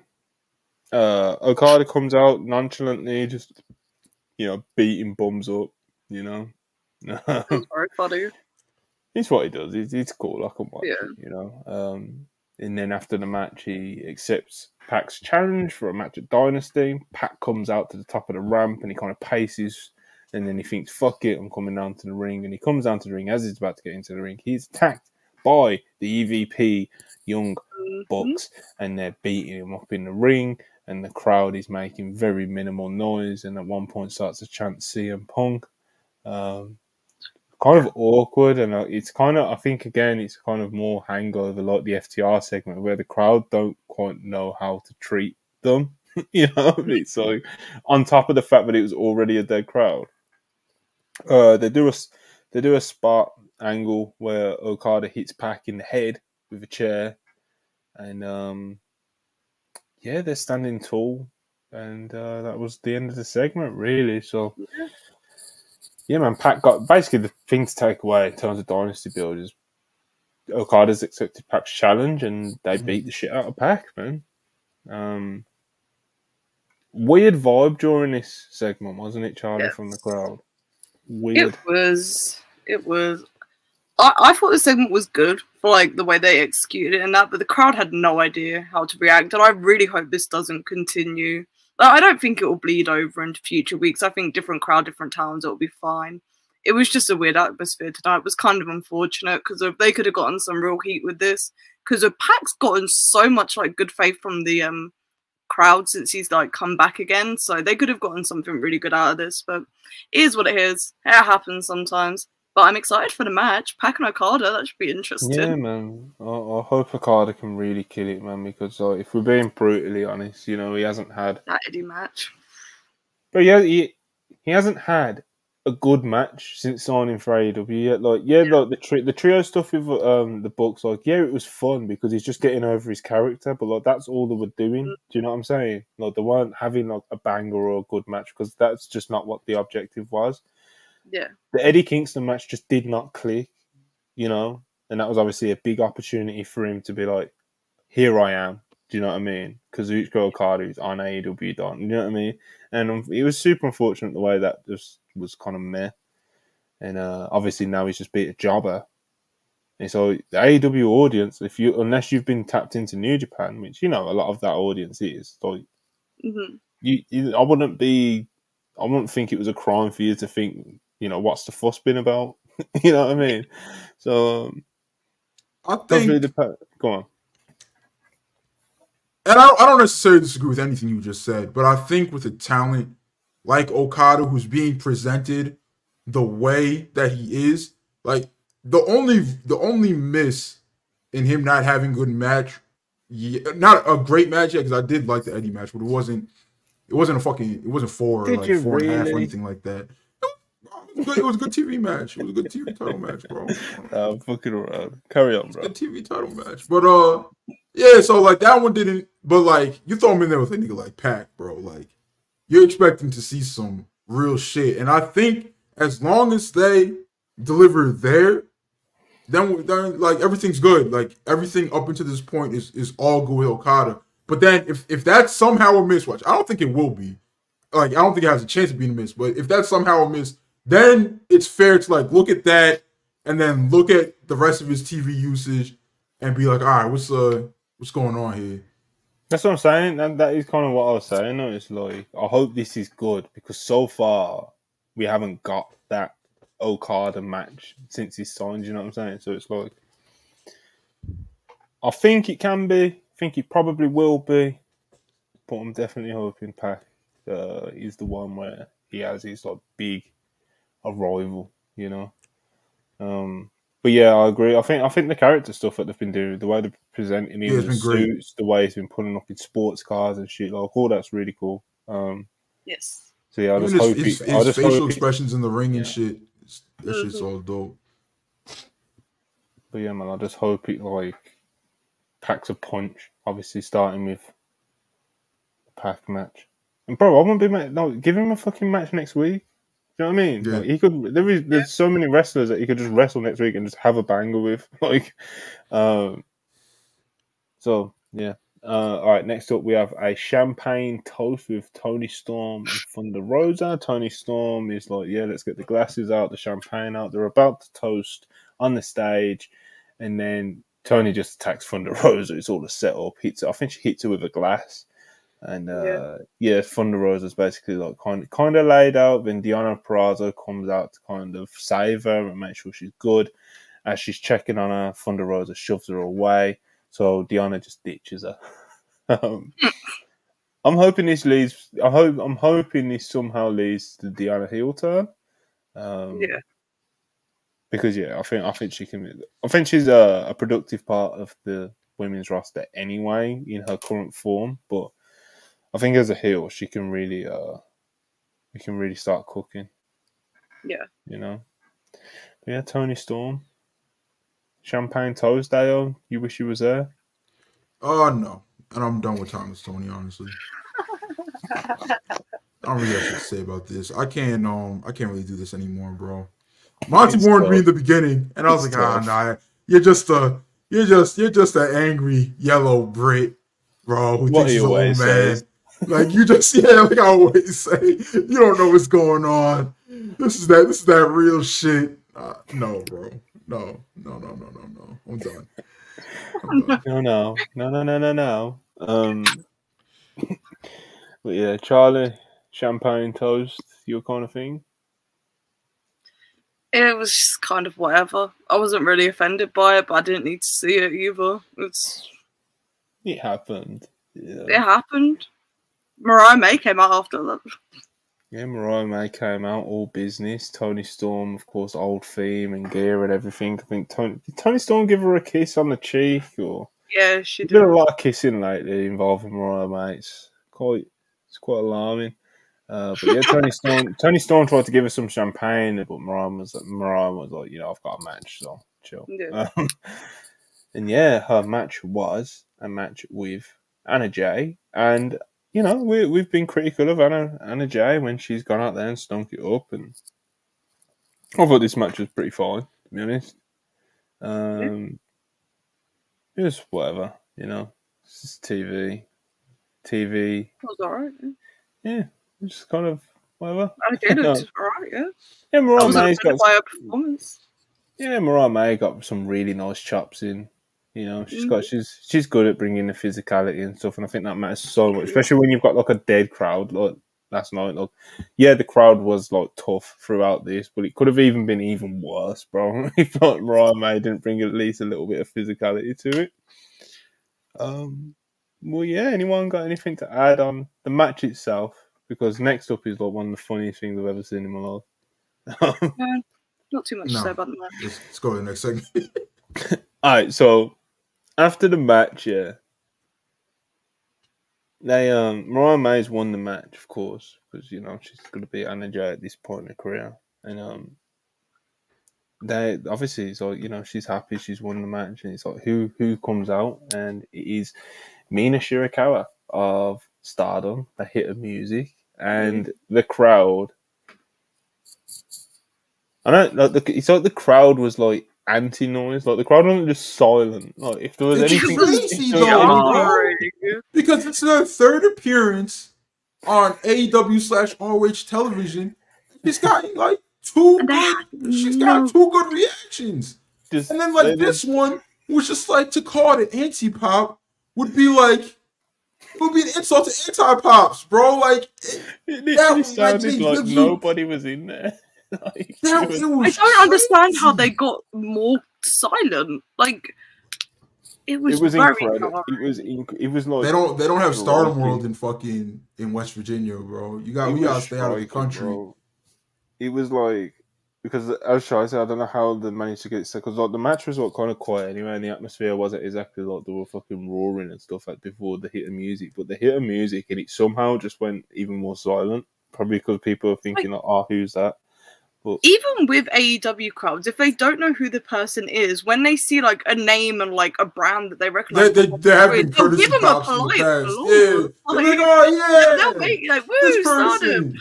Nothing, like Nothing. literally nothing. And it's it, it's brutal, man. Because especially when like, I'm again, I, I say I always preface this when we talk about Joshi and Joshi wrestlers, but it's like I'm not a Stardom expert, but I do loosely keep up to date with who they and I mm. know who like the top stars, and I'm very very well aware of who Mina is. So Yeah. it's like Mina, not really not that long ago, she was just kind of like almost like a diva in the sense of like, oh yeah, she's just like pretty and she plays on a sexuality and she's just kind of like she's not much of a wrestler. But like over twenty twenty three, I think she was like. Was she was she like our most improved? She was like one of our most improved. I'm sure she got nominated because she just all of us. All definitely got nominated. I don't remember who won. Well, no, I wasn't going to say all of a sudden, it wasn't all of a sudden. But like over the course of like a year or so, like she really started working on her in ring. She got really more physical, and she just got became a lot better in ring and started having good matches. And people started getting behind her as a wrestler and not just this hot girl, you know.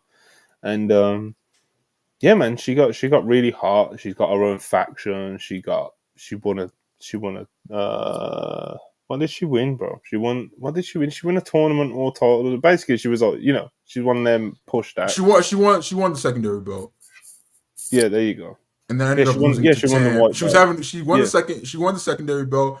Um, the white belt. Um, she had a she had a good Yeah. run with it, and then uh, it was she was having a good run, but it was really short. Russell Tam. Everybody thought she was gonna go over, but uh, well, no, nobody thought she was gonna fuck. Well, it didn't end well. Just just didn't end well. It didn't end well.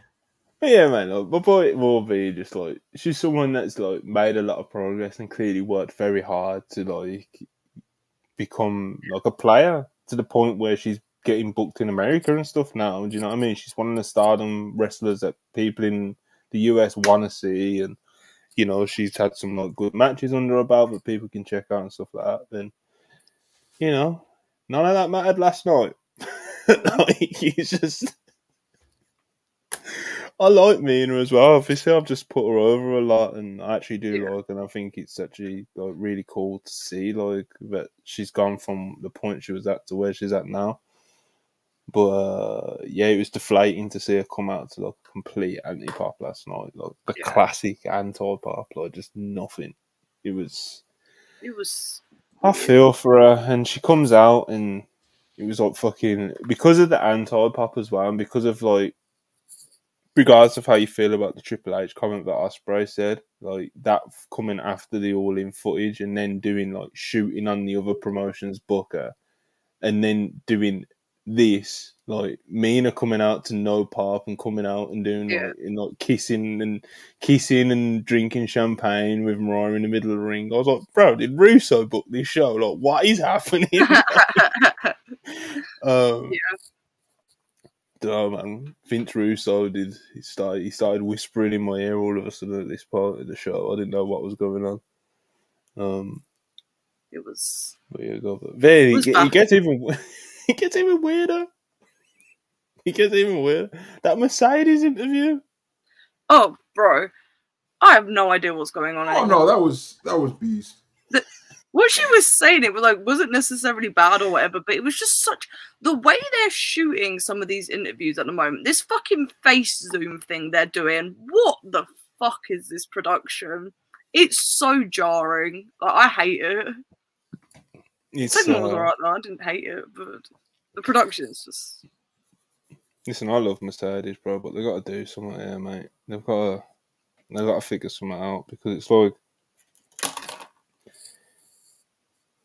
Mercedes. Mercedes promo style isn't something where you can just be like, all right, we're gonna do a live promo with Mercedes, or all right, we're gonna do a sit down or an interview with Renee with Mercedes, because like, as much as I love Mercedes, she's not someone that you can just like, all right, here's a segment, make it great. Like only certain great TV characters and wrestlers can just be like, here's a live promo and a wrestler, make it great, or here's an interview with Renee, make it really good. Like only certain wrestlers can do that. And Mercedes, as good as she is as a talent in ring and just as a star and as a presence on the show, that has never been Mercedes' game ever, never, ever, ever, ever, ever. Um, and you can tell like her, all her promos have like a WWE gloss to them in terms of them mm. feeling kind of like artificial. Like you don't really, except for that first promo that she cut, which was less of a promo, more of an introduction at big business. Like all of her promos feel like so she's not a real person. Do you know what I mean? It's like, and that's one of AEW's strong points in terms of promos, especially like early on when the difference was as stark as it was. It Was like you know these WWE scripted promos where they sound like robots and blah blah blah. But in AEW, you hear people speak in their authentic voice, and they can kind of talk about whatever, and they can kind of freely talk. And it's like you don't get that with Mercedes because her promo style has that WWE glaze to it, which is fine. Which is, I think it's more on AEW to think of creative ways to use Mercedes, so you're not just setting her up to just kind of yeah here's a here's a live promo, make it great. You so you got to get creative, man. So Mercedes, yeah, she's an all-time talent. You can absolutely make a very strong argument. She's the greatest women's wrestler to ever step foot in America. You know, uh, to ever live. You can even you- Mercedes one of those special ones that you can compare to the Joshies, bro. Like she's that special. yeah Um, but she has strengths and weaknesses, you know. And W and AEW need to play into her strengths and yes. hide her weaknesses. And I'm not saying they're they're not. I'm not saying they're fully exposing her weaknesses or anything like that. But they're definitely not playing to her strengths, and they're not being creative enough in playing to her strengths. Like instead of just doing live promos or interview promos or backstage things with Renee or whatever the fuck they do, um, that just kind of gives her the ball to kind of just cut a Mercedes promo, which is only going to be Yeah. so, so. You know what I mean? It's only ever going to be so good. Um, you need to you need to creatively come up with good, enticing, interesting segments where you can just kind of plug Mercedes in to come in, look cool, have aura. Do you know what I mean? Yeah. And then make her excited to see her next week instead of just kind of like throwing her out there with a mic and being like, "All right, Mercedes, cook," because that's just not what Mercedes does. Yeah. Uh, I, I'm all going crazy. Uh, no, you make valid points, bro. Uh, yeah, this is not like obviously Mercedes just cutting promo week after week. That's not her strong point. That's not what made her one of the greatest of all time. Um, that's not what made her all these millions of dollars that AEW's uh, paying her. Like her star power was definitely part of it, but like not her, not the fucking promos. Like you you pay you Mercedes to wrestle, right? Like um, like if like if like imagine like if these Ospreay promos was fucking shit, bro. It's like well you paying him to wrestle anyway. It just niggas lucked up and he's a generational TV character as well. But um, like I I don't know, bro. Like I'm just like her run will start. Like her run will start with me when she starts wrestling. I'm not worried until then. Yeah. Uh, I just I wish they would. I don't know. It's I don't tough, know. isn't it? Because just like, need to just loosen up a little bit, bro. Just loosen up on the promos a little bit. it's, it's it's tough, isn't it? Like you said, it's like you don't want to judge her reign too harshly until she's ready. Because it's not her, bro.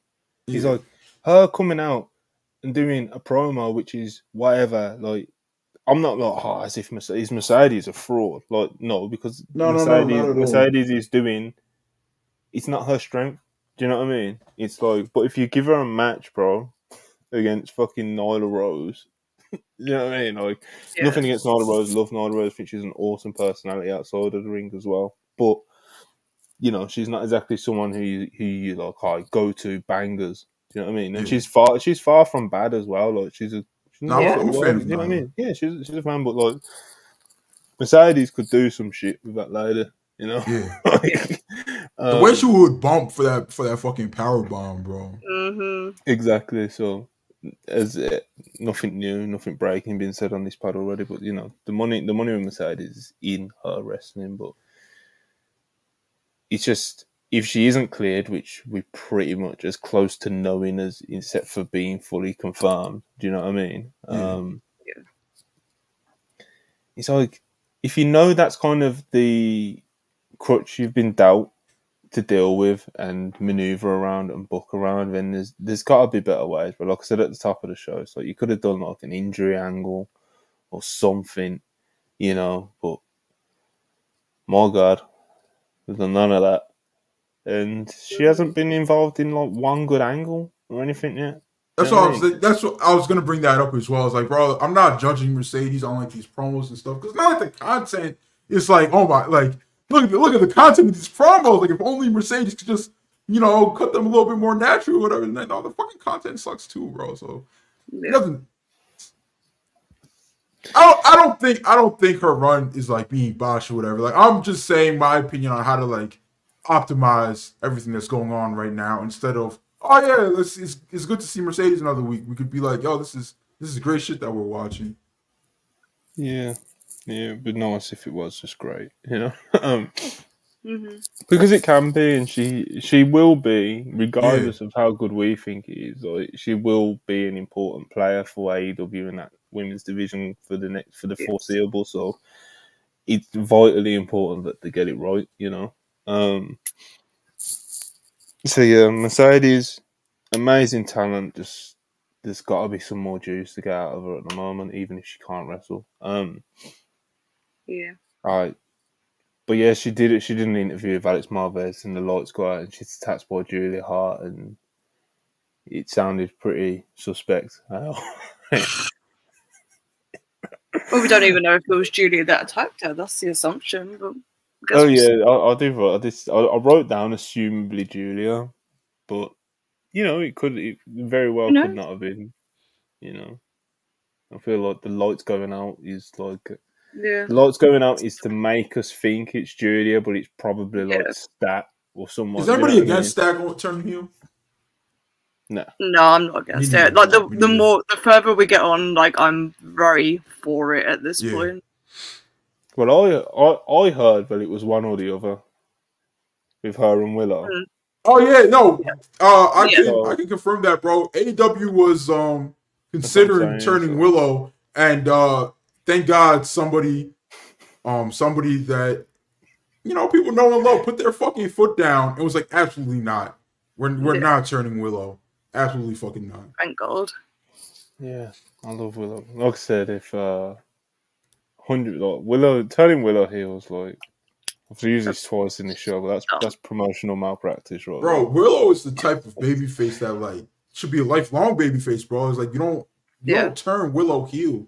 Like you never oh what if Willow what if you could have got that Willow heel run? Maybe in fucking eight years from now, bro. Not fucking Yeah, not now, no. not anytime soon. But yeah, interesting noises in the dark with Mercedes.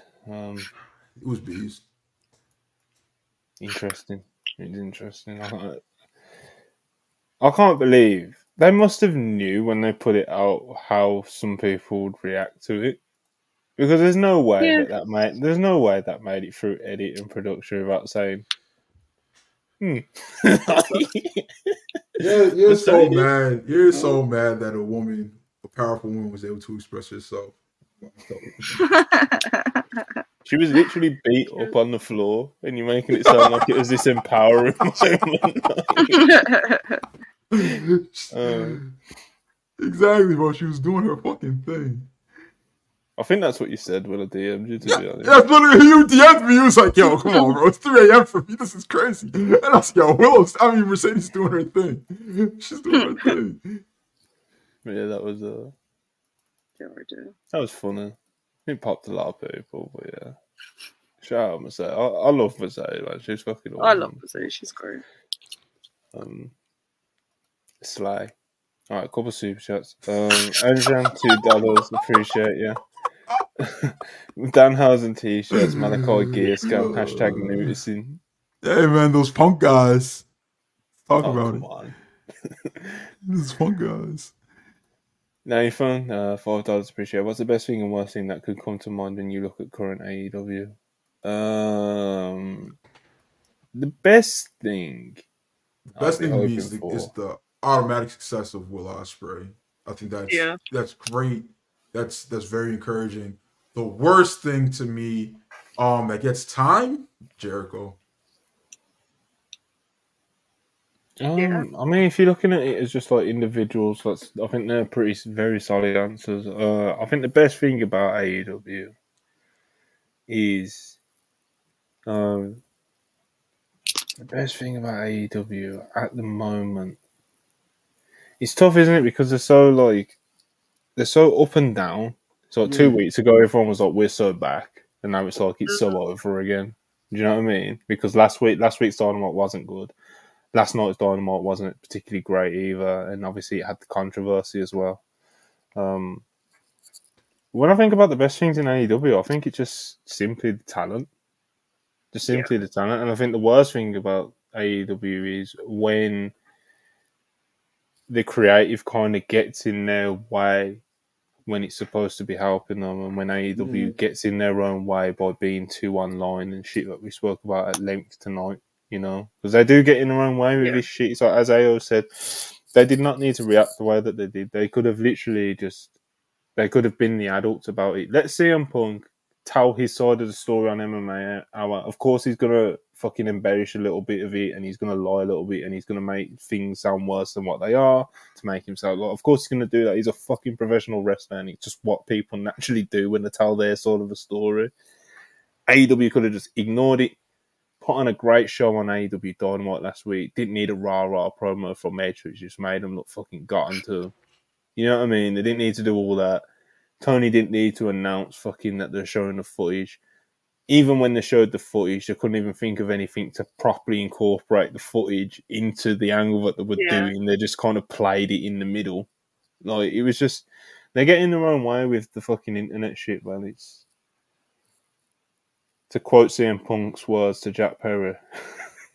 you know, why, why, why, why you got to play into this internet bullshit, man? You know, why, why you got to, why you got to do this shit? You know, great wrestlers, and they've got they've got the ingredients to be like. They've already they've already had like an all time run of TV shows. Yeah. You know, they've they've done it, and they can keep doing it, and they've had all all time runs of pay per views as well. You know, but they get in their own way a lot of the time, and it's very frustrating. And I don't think they, I don't think they're creatively perfect. Like I have to stop if Tony Khan deletes Twitter, they'll be perfect. Like there's a lot of problems with that, but it's like problems that just kind of come because he's new to booking and shit. Do you know what I mean? Um. Anyway, New Japan God, four ninety nine. Ospreay is the one. I feel like Takeshita is right up with him as the one to. Listen, in terms of like a prototype, if you could build him in a lab, like yeah, you know what I mean. Like I see, do you know what I mean? In, ter- in terms of like two plug in and play characters, their stats, attributes, like yeah, I see. it, You know what I mean? Takeshita might even edge him. Do you know what I mean? But Yeah. Ospreay's the one because of the resume and goodwill he's built throughout his career, and now that connection coming to fruition with the way that he's being treated by the AEW fan base and stuff like that. He like he just he's just different. Takeshita's still.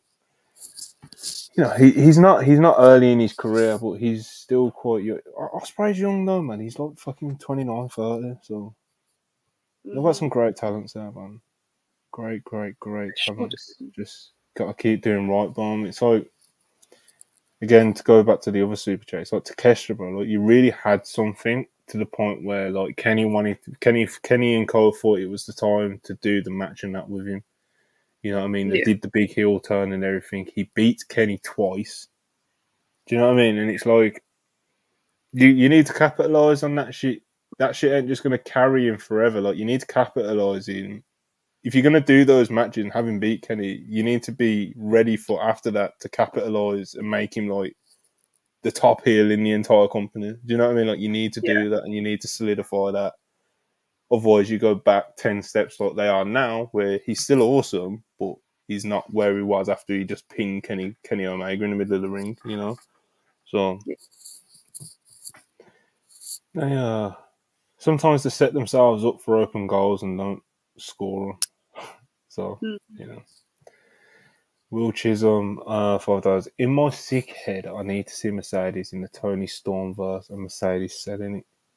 So that's No, you because that's what. No, you know what, Will? I'll give you that one because like you prefaced it with "in my sick head." that is that is very that is very sick.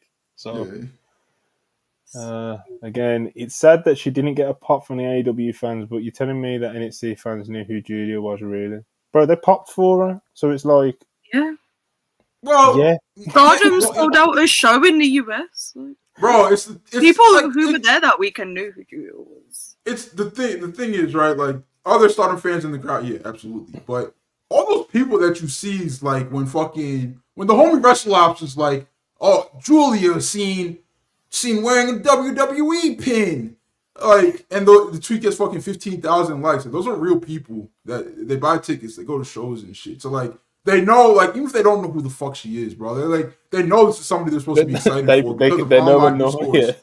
Like they've seen the they they've seen the know, online they know discourse. It's like to this, pretend. yeah, know? yeah, they know this is someone we're supposed to pop for. Like they, oh, Julia, yeah, I heard she's the Joshi that's coming in. It's supposed to be really good. Let's let's pop. Like it's not. It, it- it's WrestleMania weekend, not fucking West Virginia. You know what I mean? Hmm. Yeah. WrestleMania is the most But online yes, crowd. yes, Will. Um, hmm yes, Will. To answer your question, I I do think NXT fans knew who Julia was, but I don't think they would know who Mina was. Because like, Yeah, like, it's like like AO mentioned, walked like, Ju- like, Julia's been like viral on Twitter in terms of WWE fans like the past few months now. Like a lot of their fans online, whether it's Twitter, Instagram, YouTube, whatever it is, like they know who Julia is, even if it's just seeing pictures of her, never seen them wrestle a match. Um, Yeah. So yeah, and she has an awesome look. So it's like res- WWE fans like see a picture of Julia, like she's coming in, and they're like, "Whoa!" Like, They're, they're, because like, Yeah. they're she she- looks like she's that. got Say no more. I'm, I'm on board. And, like AW fans do it too, bro. Like they hear that somebody's coming to AW, they're like, they're like, oh, I'm excited for this person. It's just like, well, how many people really like? No, no offense to her at all, but it's just an example. How many people was really like Megan Bayne, Megan Bayne, Megan Bayne, Megan Bayne until she was linked to AEW, and then it was like, Yeah. yes, I love her. We need, let's get her in. Oh, I need her to do this. I need her to do that. Da, da, da. So it's just, it's just wrestling fans. Yeah, it definitely is. Yeah. Uh, Will Chisholm those again. I thought that was the point to bring in that written from WWE. Right? No, I thought that was the point to bring in that writer from WWE because Mercedes wanted her. Is Tony Uzi any ideas from her? I mean, like obviously Jennifer Pepperman is like heavily involved in AEW creative and not even just Mercedes now. Like, well, it- she she was never brought in just for Mercedes. Tony Khan obviously likes her ideas and wants to run the team team. But um, I don't I, I can't I, I don't know the specifics. Obviously, we only have like loose inside info about AEW's like creative and shit. Like, I couldn't tell you exactly who produced that segment last night, for example. I could maybe ask. even, even if, even if she is doing like everything, like everybody's everybody's job here gets easier once Mercedes starts wrestling. Like it's gonna be easier to write a promo segment for her. It's gonna be easier to have her in feuds and stuff. Like look at what they have her do. Like forget about the lines that she said. Like just look at like the storyline she's in. She's like loosely connected to this Willow, Stat, and House of Black and Julia Hart feud and Skye Blue. Like kind of, and she's not really doing anything else. Like, what the fuck is she supposed to be talking about, bro? Like, it's, they're not giving the writers the best shit to talk about. Yeah, so like, know it's- it's the choice as well. Like Julia and Sky aren't the people who I'm thinking. Yeah. Yeah, if we put her with Mercedes, we're gonna make some instant magic. Like, it's just, it's just not. And even if you're thinking is like, all right, let's get Mercedes working with a couple young talents to give them like a rub or whatnot, and it's like that isn't the feud you do with a top star that you've just signed. Yeah. Do you know what I mean? Like it's just not it's just not what you do, is it? It's like when Cody came in, he wrestled Seth. Do you know what I mean? Yeah. When like Will Ospreay's just came in, like his first pay per view match is fucking Bryan. Takeshi. No. Yeah. No, he wrestled Takeshi. No, Takesha. But like still you know But what I like mean? even yeah, not- even if that's not like you're giving them AEW's version of Seth, it's still that's somebody who you know could go blow for blow for him and put on an unbelievable Yeah. match that everybody's gonna talk about. And that's exactly what Yeah. happened. and it's like Mercedes comes in and she's wrestling down even though she's not actually wrestling yet. like, Yeah. She's like she's, She's- working down in card position and like uh work rate ability. So it's just like extremely down though. It's not even yeah, like not it's not even like it's a step down and we're gonna work our way to like Yeah, this is like Co- Cody coming into WWE obviously comes in pretty much immediately as top baby face. It's like he's still wrestling down to Seth, but it's like Seth is at Yeah. least a top guy. a star He just and, is. and presented as a So it's like even if even if as much as I said I didn't want it to happen, like Mercedes comes in and wrestles Toni Storm and takes the belt off her immediately, and she's immediately in the Tonyverse. So yeah, I would have bitched and moaned about her being in the Tonyverse, but it's like at least she's coming in and she's top of the car card. eat- getting the yeah, belt. like she's and even if even if like no belt involved, like like uh, none of us are fucking fans, but like if you gave if you brought her in and gave her Britt Baker immediately, bro, it's just like well, you know, it's a star, like she's wrestling down ability wise, but that's a good comparison for like an AEW version of Seth Rollins. So like, yeah. yeah, yeah, book the match, do it. And, and they've got they've got the women for it, bro. Like, so the like the Willow match will be good. Do you know what I mean? But it's like that's not who she's like opposing all the time. Like she's opposing like Skye Julia got this weird thing with Willow at the moment. Where it's like will she, won't she? Um, it's just it's just, it's just weird, man. It's just weird. So when you think when you look at other like top top stars being signed throughout the course of history, it's weird to just I don't want to call them mid card because like Julia holds a title. You know what I mean? But like Yeah. in terms of like standing of like you know the resumes and stuff that they've put together in their careers, it's like Julia and Scott not very high on that list. You know what I mean? Like they're no Jamie Hayter, they're no Sheila, they're no Toni Storm, they're no not even Thunder Rosa, Britt Baker. Like they're, they're just not. You know. Yeah. Um, where did that Riho interaction go? Like, do you know what I mean? I know, I know Riho exactly isn't. I know, you know, yeah, she was first AEW World Champion, and oh yeah, she beat WWE in that one ratings war fucking two years ago or whatever. But like, You're so fucking mad. You're not- so just mad. no, You're so my point mad. is, I like Riho a lot, bro. I think she's awesome and everything. But I just think that sometimes people in 2024 still talk about her like she's like this big star in AEW when like it's pretty clear that she's not. Even if you love her and think she's awesome, which I do think she's awesome, but let's be honest, she like she shows up on TV for like two weeks every fucking three months. Or, do you know what I mean? So it's like Yeah. she's not, she's just not one of their top stars, main players in the division. She just isn't. Um, she doesn't come well when she is you. She doesn't do jobs all the time and shit like that. But you know what I mean? Like she's just not one of their top people. She just isn't. Um, you know, I, I you do have the women for it. Stat, you know, obviously as well. But you know, obviously that'll tie into the Willow thing when we get to it. It's just, oh, it's just, let's just fucking get it moving. Um, Andy, 100 rupees. This WWE boom is over, and Triple H peaked as a booker. The last two years were built around Cody chasing Reigns. Not sure what sustains it. Nothing's as strong. I mean, that sounds like you've jumped ahead quite a lot. I mean, obviously it's a possibility that Hey man, now that Cody Rhodes has finished the story that he could like peter out, but to just come on, I think I think we're, I think we're claiming too early victory right now, Andy. Um, Yeah. it's a it's a long fight ahead. No, even yo, look, even when when Triple H officially falls the fuck off, WWE fans aren't gonna admit it for like a year anyway, bro. So like, it's a long road ahead. You gotta we, come on. We- I'm fighting there with you, brother, but we can't claim victory just yet. yeah, it's uh, come on. It's like, obviously, I obviously I don't agree because like I enjoy the video at the moment, enjoyed Mania and that, and we'll be watching it continue, well, continuing to watch it going forward. But you know, sometimes I'm just like, We can't we can't claim victory until they're not doing 10k every fucking weekend. Yeah, if you, if you're like the bi- if you're like the biggest hater, like yeah, I can understand you being kind of like okay, now they've done the big thing. It's like now what, huh? Now what you gonna do, Triple H? It's like I understand you, I understand like that, but it's like until he actually shits the bed and WWE goes wank. Do you know what I mean? Then it's not Hmm. hot, and they're not selling out every week. Then that's when you, we can drop these super chats. But until then, you, you're crazy. Don't worry, don't worry, Andy. We're gonna get there. We're gonna one day, bro, Booker, Booker's having hot runs is not something that lasts forever. You know, it just Look at fucking Whether- look at Gedo look at right now, look at. Tony. Look at him. Tony. Look at him.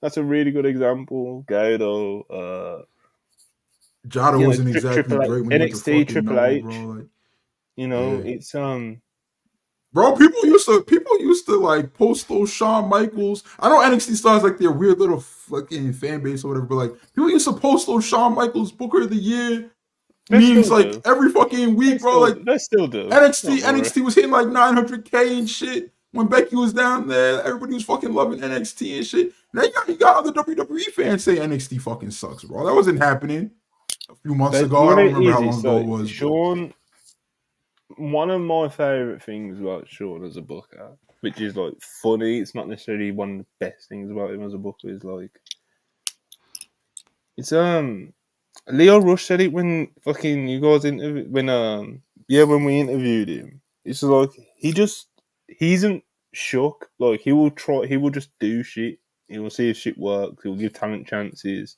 try different things. Like he, he's very he's brave. like the complete opposite sense. of uh Hunter on the main roster. Cause like Hunter's just like, I'm not gonna do anything interesting, really. Like it's just gonna be a bunch of stuff that makes sense, and hopefully y'all like it. Yeah, true. It's yeah. Uh, Triple H is a lot steadier, definitely a lot steadier. But like he, he kind of had like yeah, of course he doesn't maybe doesn't have to to the extent he is, but he he does have to be a lot steadier. Where Shawn has the space to just like try shit as well, so it's just all in the piece. So. Like he could just like do a Jaida Parker fucking push for like two weeks to see if it will work. You know, Yeah, Like, he can just do "Ah, shit like not that. Yeah, like you can just do that. Um, I, uh, I mean, main event with Dustin Rhodes and Samoa Joe from Dynamite was very good, but we are so deep into the podcast. I'm, I doubt we're gonna like fucking break it down minute for me, but it was very good. It was As a very good expected. contract.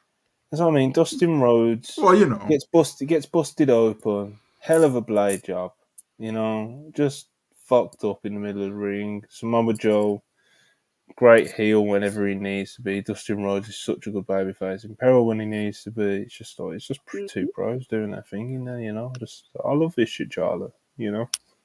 Yeah, I really enjoyed the match. Yeah, it's good. It's a good main event. You know, strong main event for Dynamite after Yes. a weird show.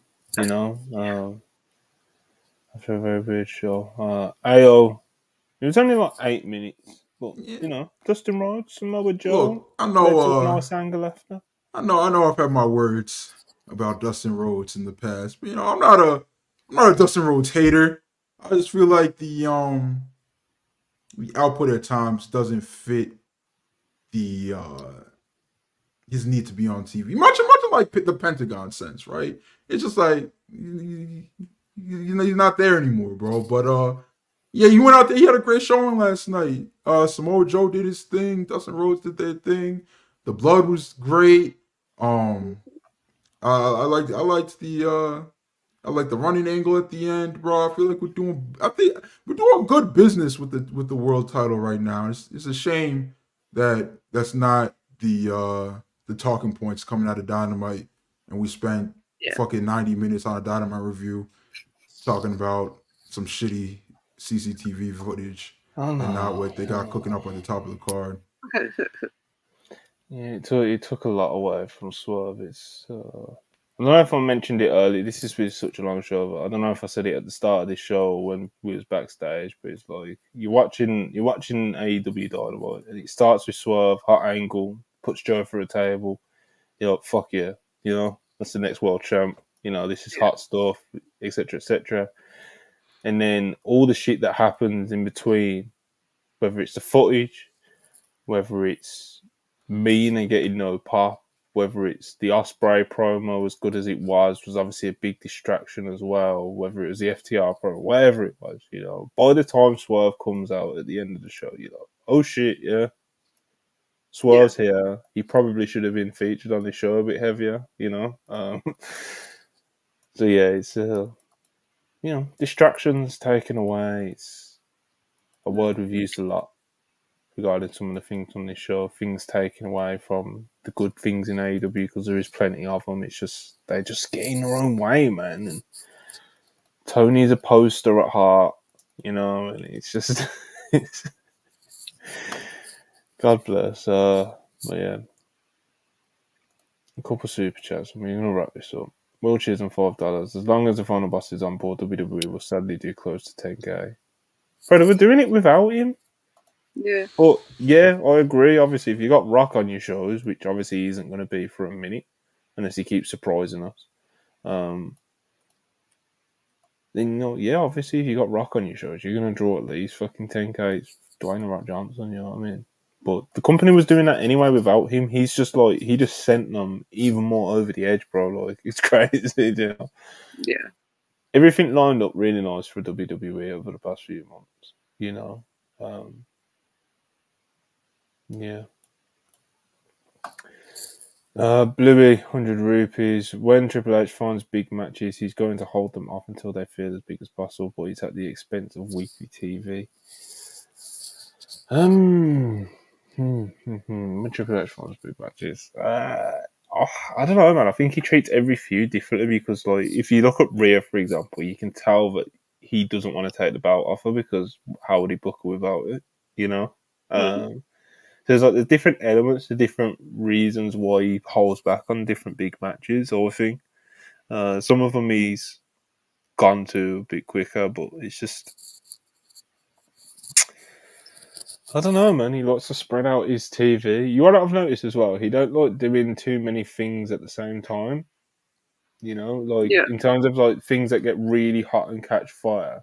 So like he's not gonna do Gunther and Gable at the same time he's doing like Bianca and Jade or something. Like, do you know what I mean? Like something that catches fire and gets really hot. Like he he can't he likes to rotate them and spread them out throughout his year. This is something that you can tell from watching that we've heard as well.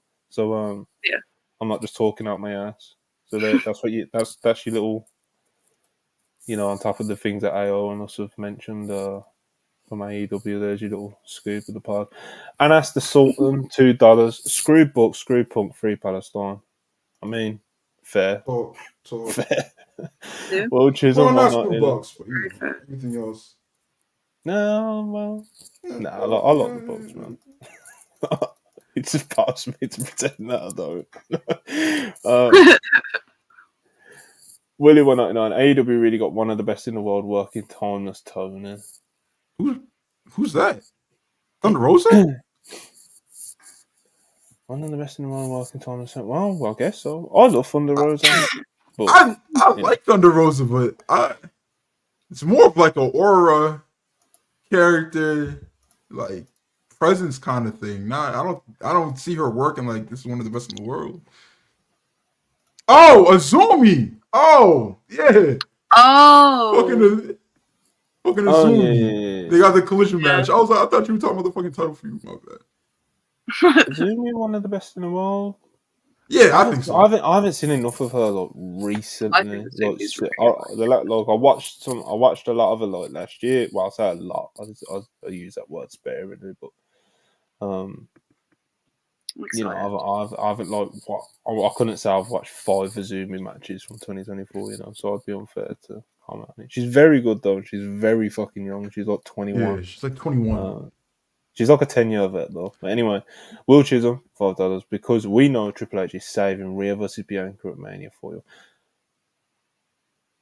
Yeah, you know what, though? The thing is, is that like Rhea versus Bianca like is a Mania match. So it's like, yeah. you know, it's like, I can let don't- it I don't- I don't. I, it, it is a mania match. Um, I don't get why you can't just have Rhea wrestle, bro. Like, yeah, she's I big, will, big and imposing and stuff. But I don't get why she can't go ten minutes twice a month.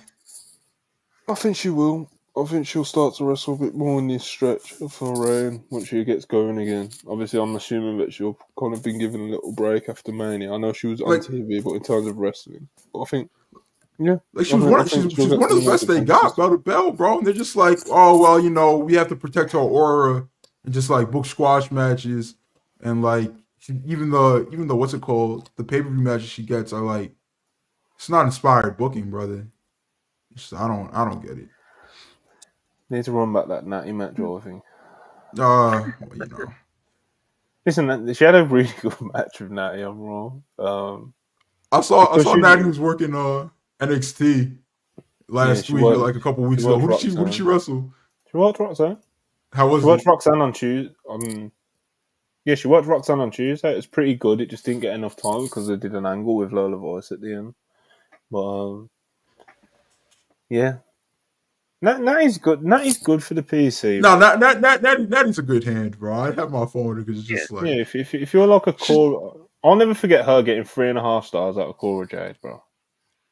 I genuinely did not like that match, bro. I tuned in for that. I thought it sucked, bro. But Monty's Well he was popping Well huge.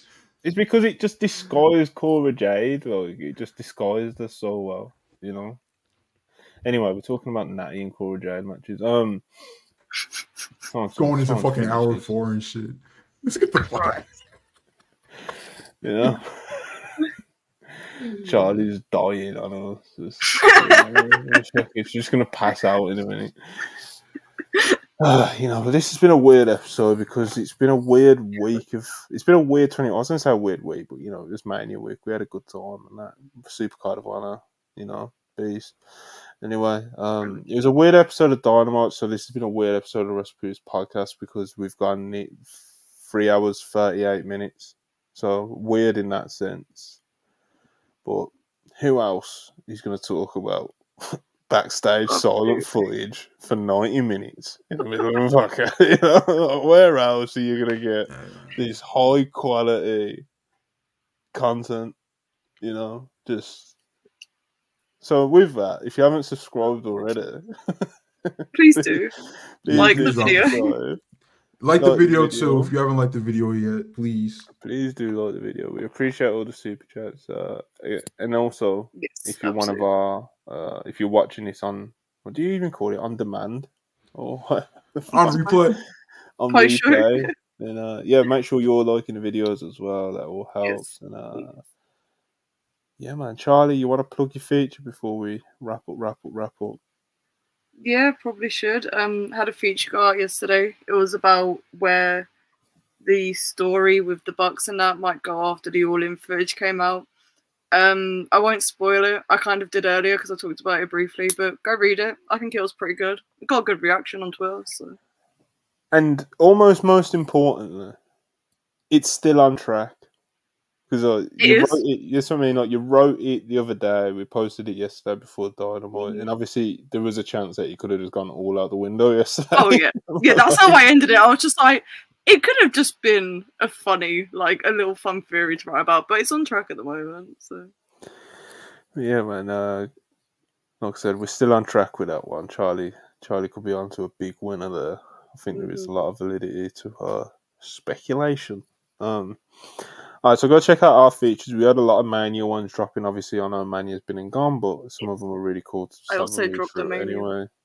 Yeah, even Charlie did a Mania feature, so go check those out. And of course, check out the most recent one from Charlie. Um, I think we've got some more to drop this week, so keep an eye out for it. Obviously, tomorrow we'll do Wrestling Observer newsletter coverage on the Twitter page, as we always do.